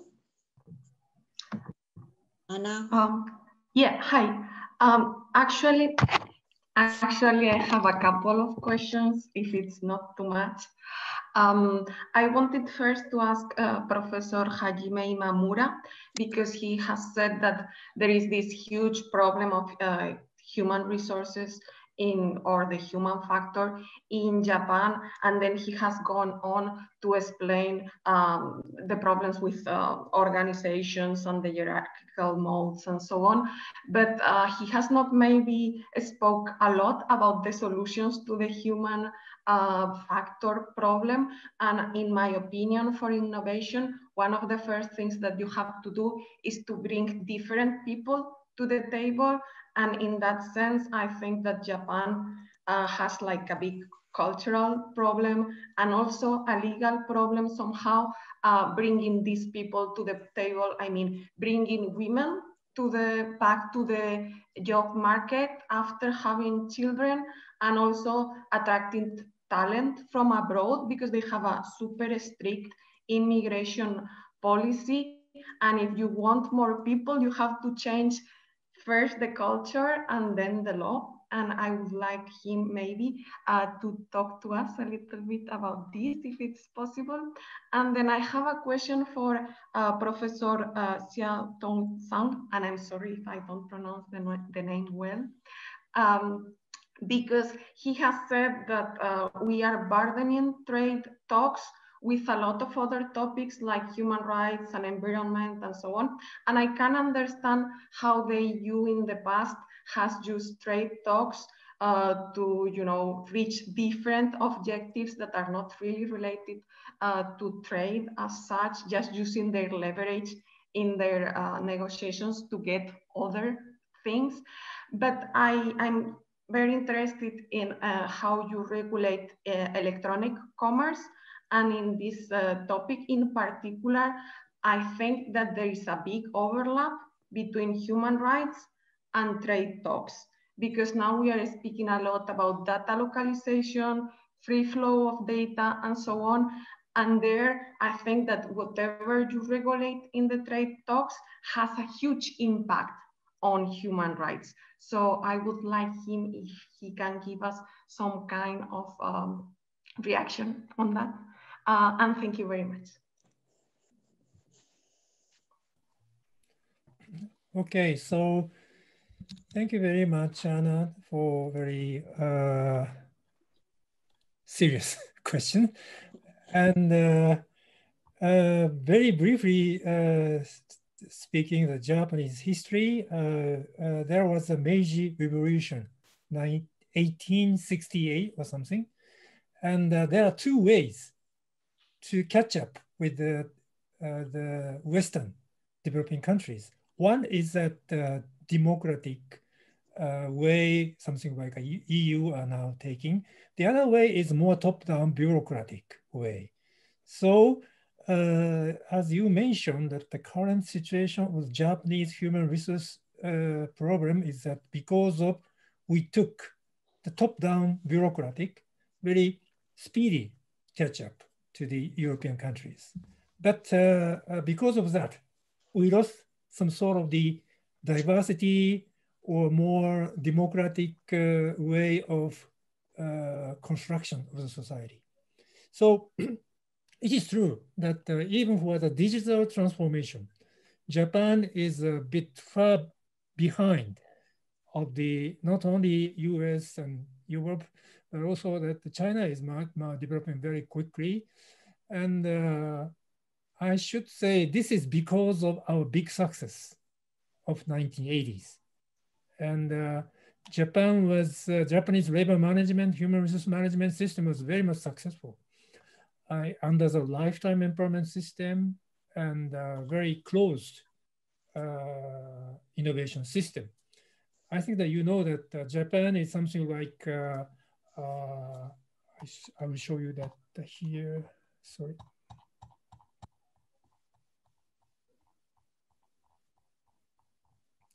Just a moment. here. Yes, I show you that uh, the that open innovation and the closed innovation. So uh, that, do you know that Sharp, the, the electricity company, Sharp, is now owned by Taiwanese capital. And then the failure of the Sharp, Sharp industry is because of the closed innovation system and lifetime employment systems. So uh, we need more open and uh, uh, or, uh, the more flexible employment system for this, but the, we are too much get used to the, the traditional employment system. That I will show you that there are so many old age people are occupying Japanese decision-making system. So most of the influential people in the business world is more than 70 years old or something. So uh, their experience is very much old fashioned. So very good way is that the, to, uh, to let, get away from the Japanese uh, uh decision-making system, but uh, elderly, elder generations, generations are still occupying the Japanese society. So that this is some, so let, me, let me say that our strategy is something like a Trojan horse system. So we provide the more entrepreneurship minded and independent young people into Japanese uh, business society. And uh, we change uh, this young people into more like something like a Trojan horse and maybe uh, the, the destroy from inside the society. So the aim of our department is something like that. But uh, it takes a bit of time. But uh, in other words, Japanese society is too much rigidly constructed because of the success of the high economic growth in 1970 and 1980. But it's true that if we uh, lost this chance of changing our human management system, Japan will be uh, lost, we lost the chance to catch up with the uh, developing US uh, and the EU and Chinese economy. So it's a very dangerous situation in Japan. It's true. Thank you. I think the second question was for for me, yeah. I think it's uh, about uh, electrical uh, commerce um, and how to regulate uh, this uh, on the ground of human rights. Um, first of all, I would like to say um, China's uh, e-commerce developing very fast, uh, represented by uh, Alibaba and, uh, and Tencent. So we have uh, offensive interests in, in trade negotiations. That means we want to have more and more overseas market. So we see um, um, a strong need to strike a balance uh, between offensive business interests and uh, the need to, to regulate e-commerce because this is something very new. Um, 10 years ago, uh, it's not so obvious. Uh, only in the United States, they have a strong offensive interests, but in recent years, uh, China has very strong offensive interests in international trade and investment uh, negotiations. Um, I think that there are specific provisions in trade, trade uh, agreement uh, governing um, human rights. Generally speaking, it's within the, the provision of sustainable uh, development. I don't know whether there are specific human rights provision within the chapter of, of e-commerce. I need to go back to, to uh, specific trade agreements to, to check out. Um, I think that, that, that, that really we need to be very careful in, in regulating. Uh, because at the end of the day, on the market, these uh, business people who, who do business, um, if you don't regulate, uh, there's a problem. If you regulate too much, there's an, another type of, of, of, of problem. Um, finally, uh, my, my response is that we, we need to strike a balance between uh, trade and human rights. I think uh, my bottom line is that we cannot burden trade with too many things. Otherwise, trade doesn't run. Thank you. Thank you. Thank you, uh, Xiaotong. Uh, we have uh, one more question, maybe the last one before we conclude. Uh, from Anna Borodina. Anna, please. Yes, hello everyone, dear colleagues, another Anna, uh, this time from Russia. And uh, thank you so much. Anna, uh, we cannot hear you. Um, can you hear me now? Ahora, yes, now. so once again, thank you for an opportunity to participate in this conference as a listener. And I'm very State University, and it's also part of Erasmus Plus team. We're now implementing the project on work-based learning in higher education in Armenia and Russia, and also other international European partners are involved. I have uh, two questions, a question to Professor Holland and Professor Imamura. So a question to Professor Holland. Um, when you mentioned that research on uh, perceptions and expectations in Asian and um, Pacific region of uh, the European Union and European countries. Uh, did you focus on uh, media, right? And um, were they, let's say, um, paper media, like hard copies, or electronic ones? And was there any difference between perceptions and expectations and opinions uh, published in let's say, based on different genres and political orientation of those um, media and maybe social media, maybe they are more critical. So um, it would be great to learn the, about that difference, if any, those perceptions. And the question to Professor Imamura is, um, you know, we spoke about perceptions that the uh, Japanese model of uh, economic development and business and management has been perceived in Russia at Russian universities at the departments of economics and management as very successful and effective. And it has always been told as a specific case uh, of uh, success. And yes, I totally agree that we mainly focused on big businesses. And now, as I understood from your presentation, uh, there is like a shift towards another revision of this model, perhaps, right? In terms of um, making it more horizontal, maybe more open, adjusting it to, um, let's say, European models. And you also mentioned that Meiji time, right, when uh, Japan had to catch up, or maybe, maybe not to catch up, maybe to develop, right, in this direction. So uh, if possible, could you please uh, focus a little bit more on that? What is happening with um, the famous uh, Japanese model of business and management. Thank you very much. Okay, Martin, maybe you are the first to answer. Thank you. Can you hear me okay without the headset? Good, good, thank you. Uh, thank you very much for the question. Um, I can answer both, I guess, historically, because we've been doing this sort of work for 20 years, but also as in last year in 2020. Um, certainly, when we look at the traditional printed media, um, there is, um, I guess you could say the journalists have more space and time to develop expectations towards the EU. I mean, I think that's a clear pattern that if you are looking for messages in public diplomacy, then the traditional media, that might be on the internet as a PDF, but the traditional media is the place where you will find uh, some expectations and perceptions uh, being quite well uh, articulated.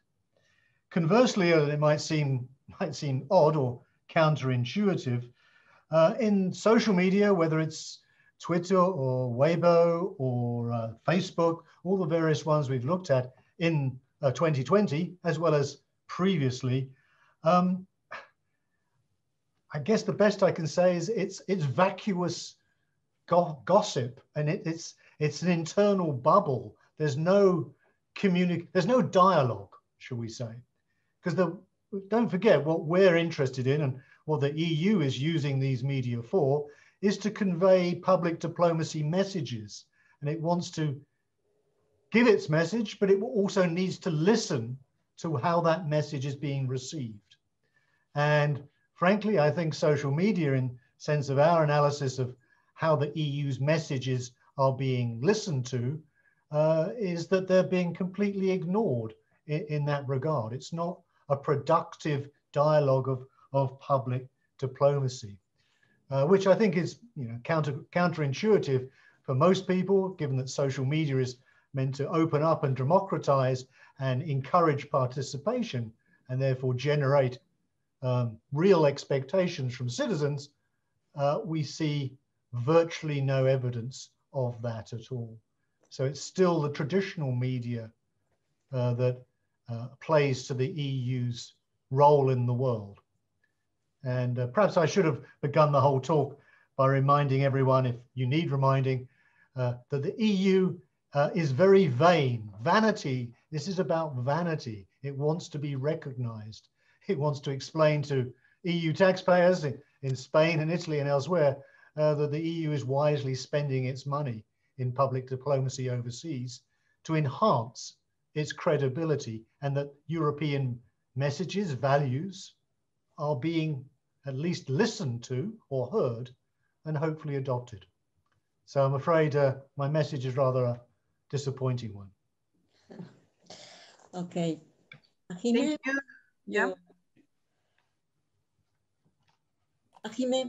Yes. Please. So uh, please look at this uh, picture. So uh, this is a picture I showed you that uh, a Japanese management system is used to be a right-hand side. This is a, some integral architecture. So uh, every process of Japanese business management is precisely connected uh, in, inside the big company. And uh, Japanese businessman is very much uh, have difficulty to move across the border of the company or across the border of the uh, maybe the country or so. But uh, how do you think that the left-hand side is some sort of the modular type of technology? So it is a, a very flexible and convertible in any every kind of the materials. So uh, this is very flexible and open, and uh, you can overcross the border. So uh, I will stop. So that uh, the Japanese management, the problem the Japanese management is that uh, the big, uh, the top, top management of the Japanese big company do not realize the problem of the current situation, how serious Japanese business is facing. So uh, another keyword is that the middle ground. Middle ground is that the connecting the startups, young uh, venture businesses to big businesses. So I talked with the Hitachi, vice president of Hitachi, and uh, I recommended him to open up the, the horizontal connection with the small businesses or the, some other companies, but he, he rejected because Hitachi is very much aware that uh, uh, top-down, uh, some sort of the uh, closed innovation systems. One example is that the railway station, railway businesses, uh, the train businesses. So Hitachi is very much successful in EU, uh, sorry, in UK. That uh, he, Hitachi got a very big market in UK because in UK that uh, train train industry is so much fragmented into small horizontal parts. So Hitachi is still confident in uniting the top-down kind of the business uh, connection. So I think that the Japanese management system is not uh, uh, effective anymore, but uh, we need some more flexi horizontal flexibility for the management. So if we compare that Toshiba and Hitachi, Hitachi had a crisis 10 years ago. So uh, they are now opening up and buying, buying small uh, businesses into the Hitachi business. But uh, Toshiba is still uh, stick to the uh, some closed uh, internal connection. So that so you see that the difference. So re result is very apparent. And also Sharp has a failure of say they stick to the closed innovation system. So problem is that the openness of the mindset of the business people in Japan. So uh, everything. So for example, that the Japanese management system is, uh, or government system is uh, done by paper. there are many, many papers. So we are very much difficult to digitalize because that the rule of the paper management system is that uh, not compatible horizontally. So, so that the Japanese digital transformations are really serious for for changing the business situation. That's one example. So uh, basically that the human resource uh, uh, revolution or, or, changing is, a, I think that it's the most uh, uh, fastest way, royal road to change the Japanese businesses, but uh, it's, it takes a time. So. Okay, thank you very much, Hajime. Uh, Beatrice, don't you mind if I share just one funny case about Hitachi, as uh, Professor Imamura mentioned? May I? Just very short. Yes, very short. Yes, because. Um, so yes, in my area, which is a uh, Tver area, it's um, almost close to Moscow. Uh, Hitachi uh, actually implemented an excavator building plant. Fine. Uh, very good plant, um, local people involved, employed, perfect. And a couple years ago, um, after they implemented this that project, it was a greenfield, so very successful. Uh, Hitachi decided to um, do something with the railways also. And I translated because as well, it was in Japanese, it was English. And uh, when I mentioned to people from the railway department of Hitachi that there is already a successful case of development business in Russia and in this particular area, uh, by excavator building, builders, they were, you know, they didn't know anything about that. It was such a huge company that they didn't really know what one what what branches did actually in a different field. You know, it was really funny. so I hope it helps. So it's so it was so big that it didn't have any feedback from its local branches. And indeed, mm. you're right in terms of horizontal interaction. So the railways didn't know about this uh, earth moving thing. So hope it will, it will be a good anecdote yes. for you to, to share too. Thank you. Yes. Yeah. So yes, thank you. So that the problem is that the, the, the Japanese big business is still confident to the closed innovation system. But contrary okay. to that, the Korean business dispatches the young people to the uh, the unknown uh, the areas, and that, that, that, that, this is kind of the feedback from the market. So that uh, we have to change the mindset of the big business uh, companies. Yeah, that's true. Thank you very much for this fruitful dialogue. Um, we have to conclude because time is over. I think Francesco, uh, I have read your chat very in the chat, your message very, very. Yeah, if, Did you want to make a question? Sorry, I I have. Yeah, just a question. Uh, if there is a there is a time, uh, a brief oh, question. We are out of time, but. Uh, okay. Okay. Uh, no. Okay, but uh, just for uh, Martin Holland, for uh, it's it's about do you think the, the European Union leadership should engage in more active affirmative actions about the perceptions like those referring to Israel, for example? And do you think it's about only a question of perception because we have in Europe, within the Europe, a problem about the perception about the European, the European Union. You know, it has become a sort of the scapegoat uh, for the, the governmental, uh, the governmental leadership uh, in order to, uh, to justify some lack of uh, uh, evidence. Martin. I'll reply very quickly. well, six years ago, I was contracted by the External Action Service to undertake a study on, on how they were being understood in globally, actually, uh, in 10 strategic partners. Uh, and uh, I think our conclusion from that was is that the problem for the EU is that it over promises and under delivers. It must stop over promising uh, to be the solution or the leading light. Choose your topic uh, because it fails really uh, to, uh, to do that too often. And that's a question of credibility. So uh, some modesty, some more modesty and uh, by von der Leyen and others, I think, is the solution to better public diplomacy. Thank, Thank you. you. Thank you very much to all of you. This has been, uh, we are out of time. We have to conclude for today. Uh, it has been uh, very, very interesting, both the contribution from the speakers and, and the feedback, the questions uh, from the audience. So we really thank you uh, to all of you, the speaker, for their contribution and the attendance for your interest and active involvement. And we encourage you to join us uh, tomorrow at the same time in Europe and in Asia Pacific uh, when we shall continue to, to discuss and to learn more things about the European Union Asia Pacific relations. Thank you very much and Thank hope you. to see you tomorrow.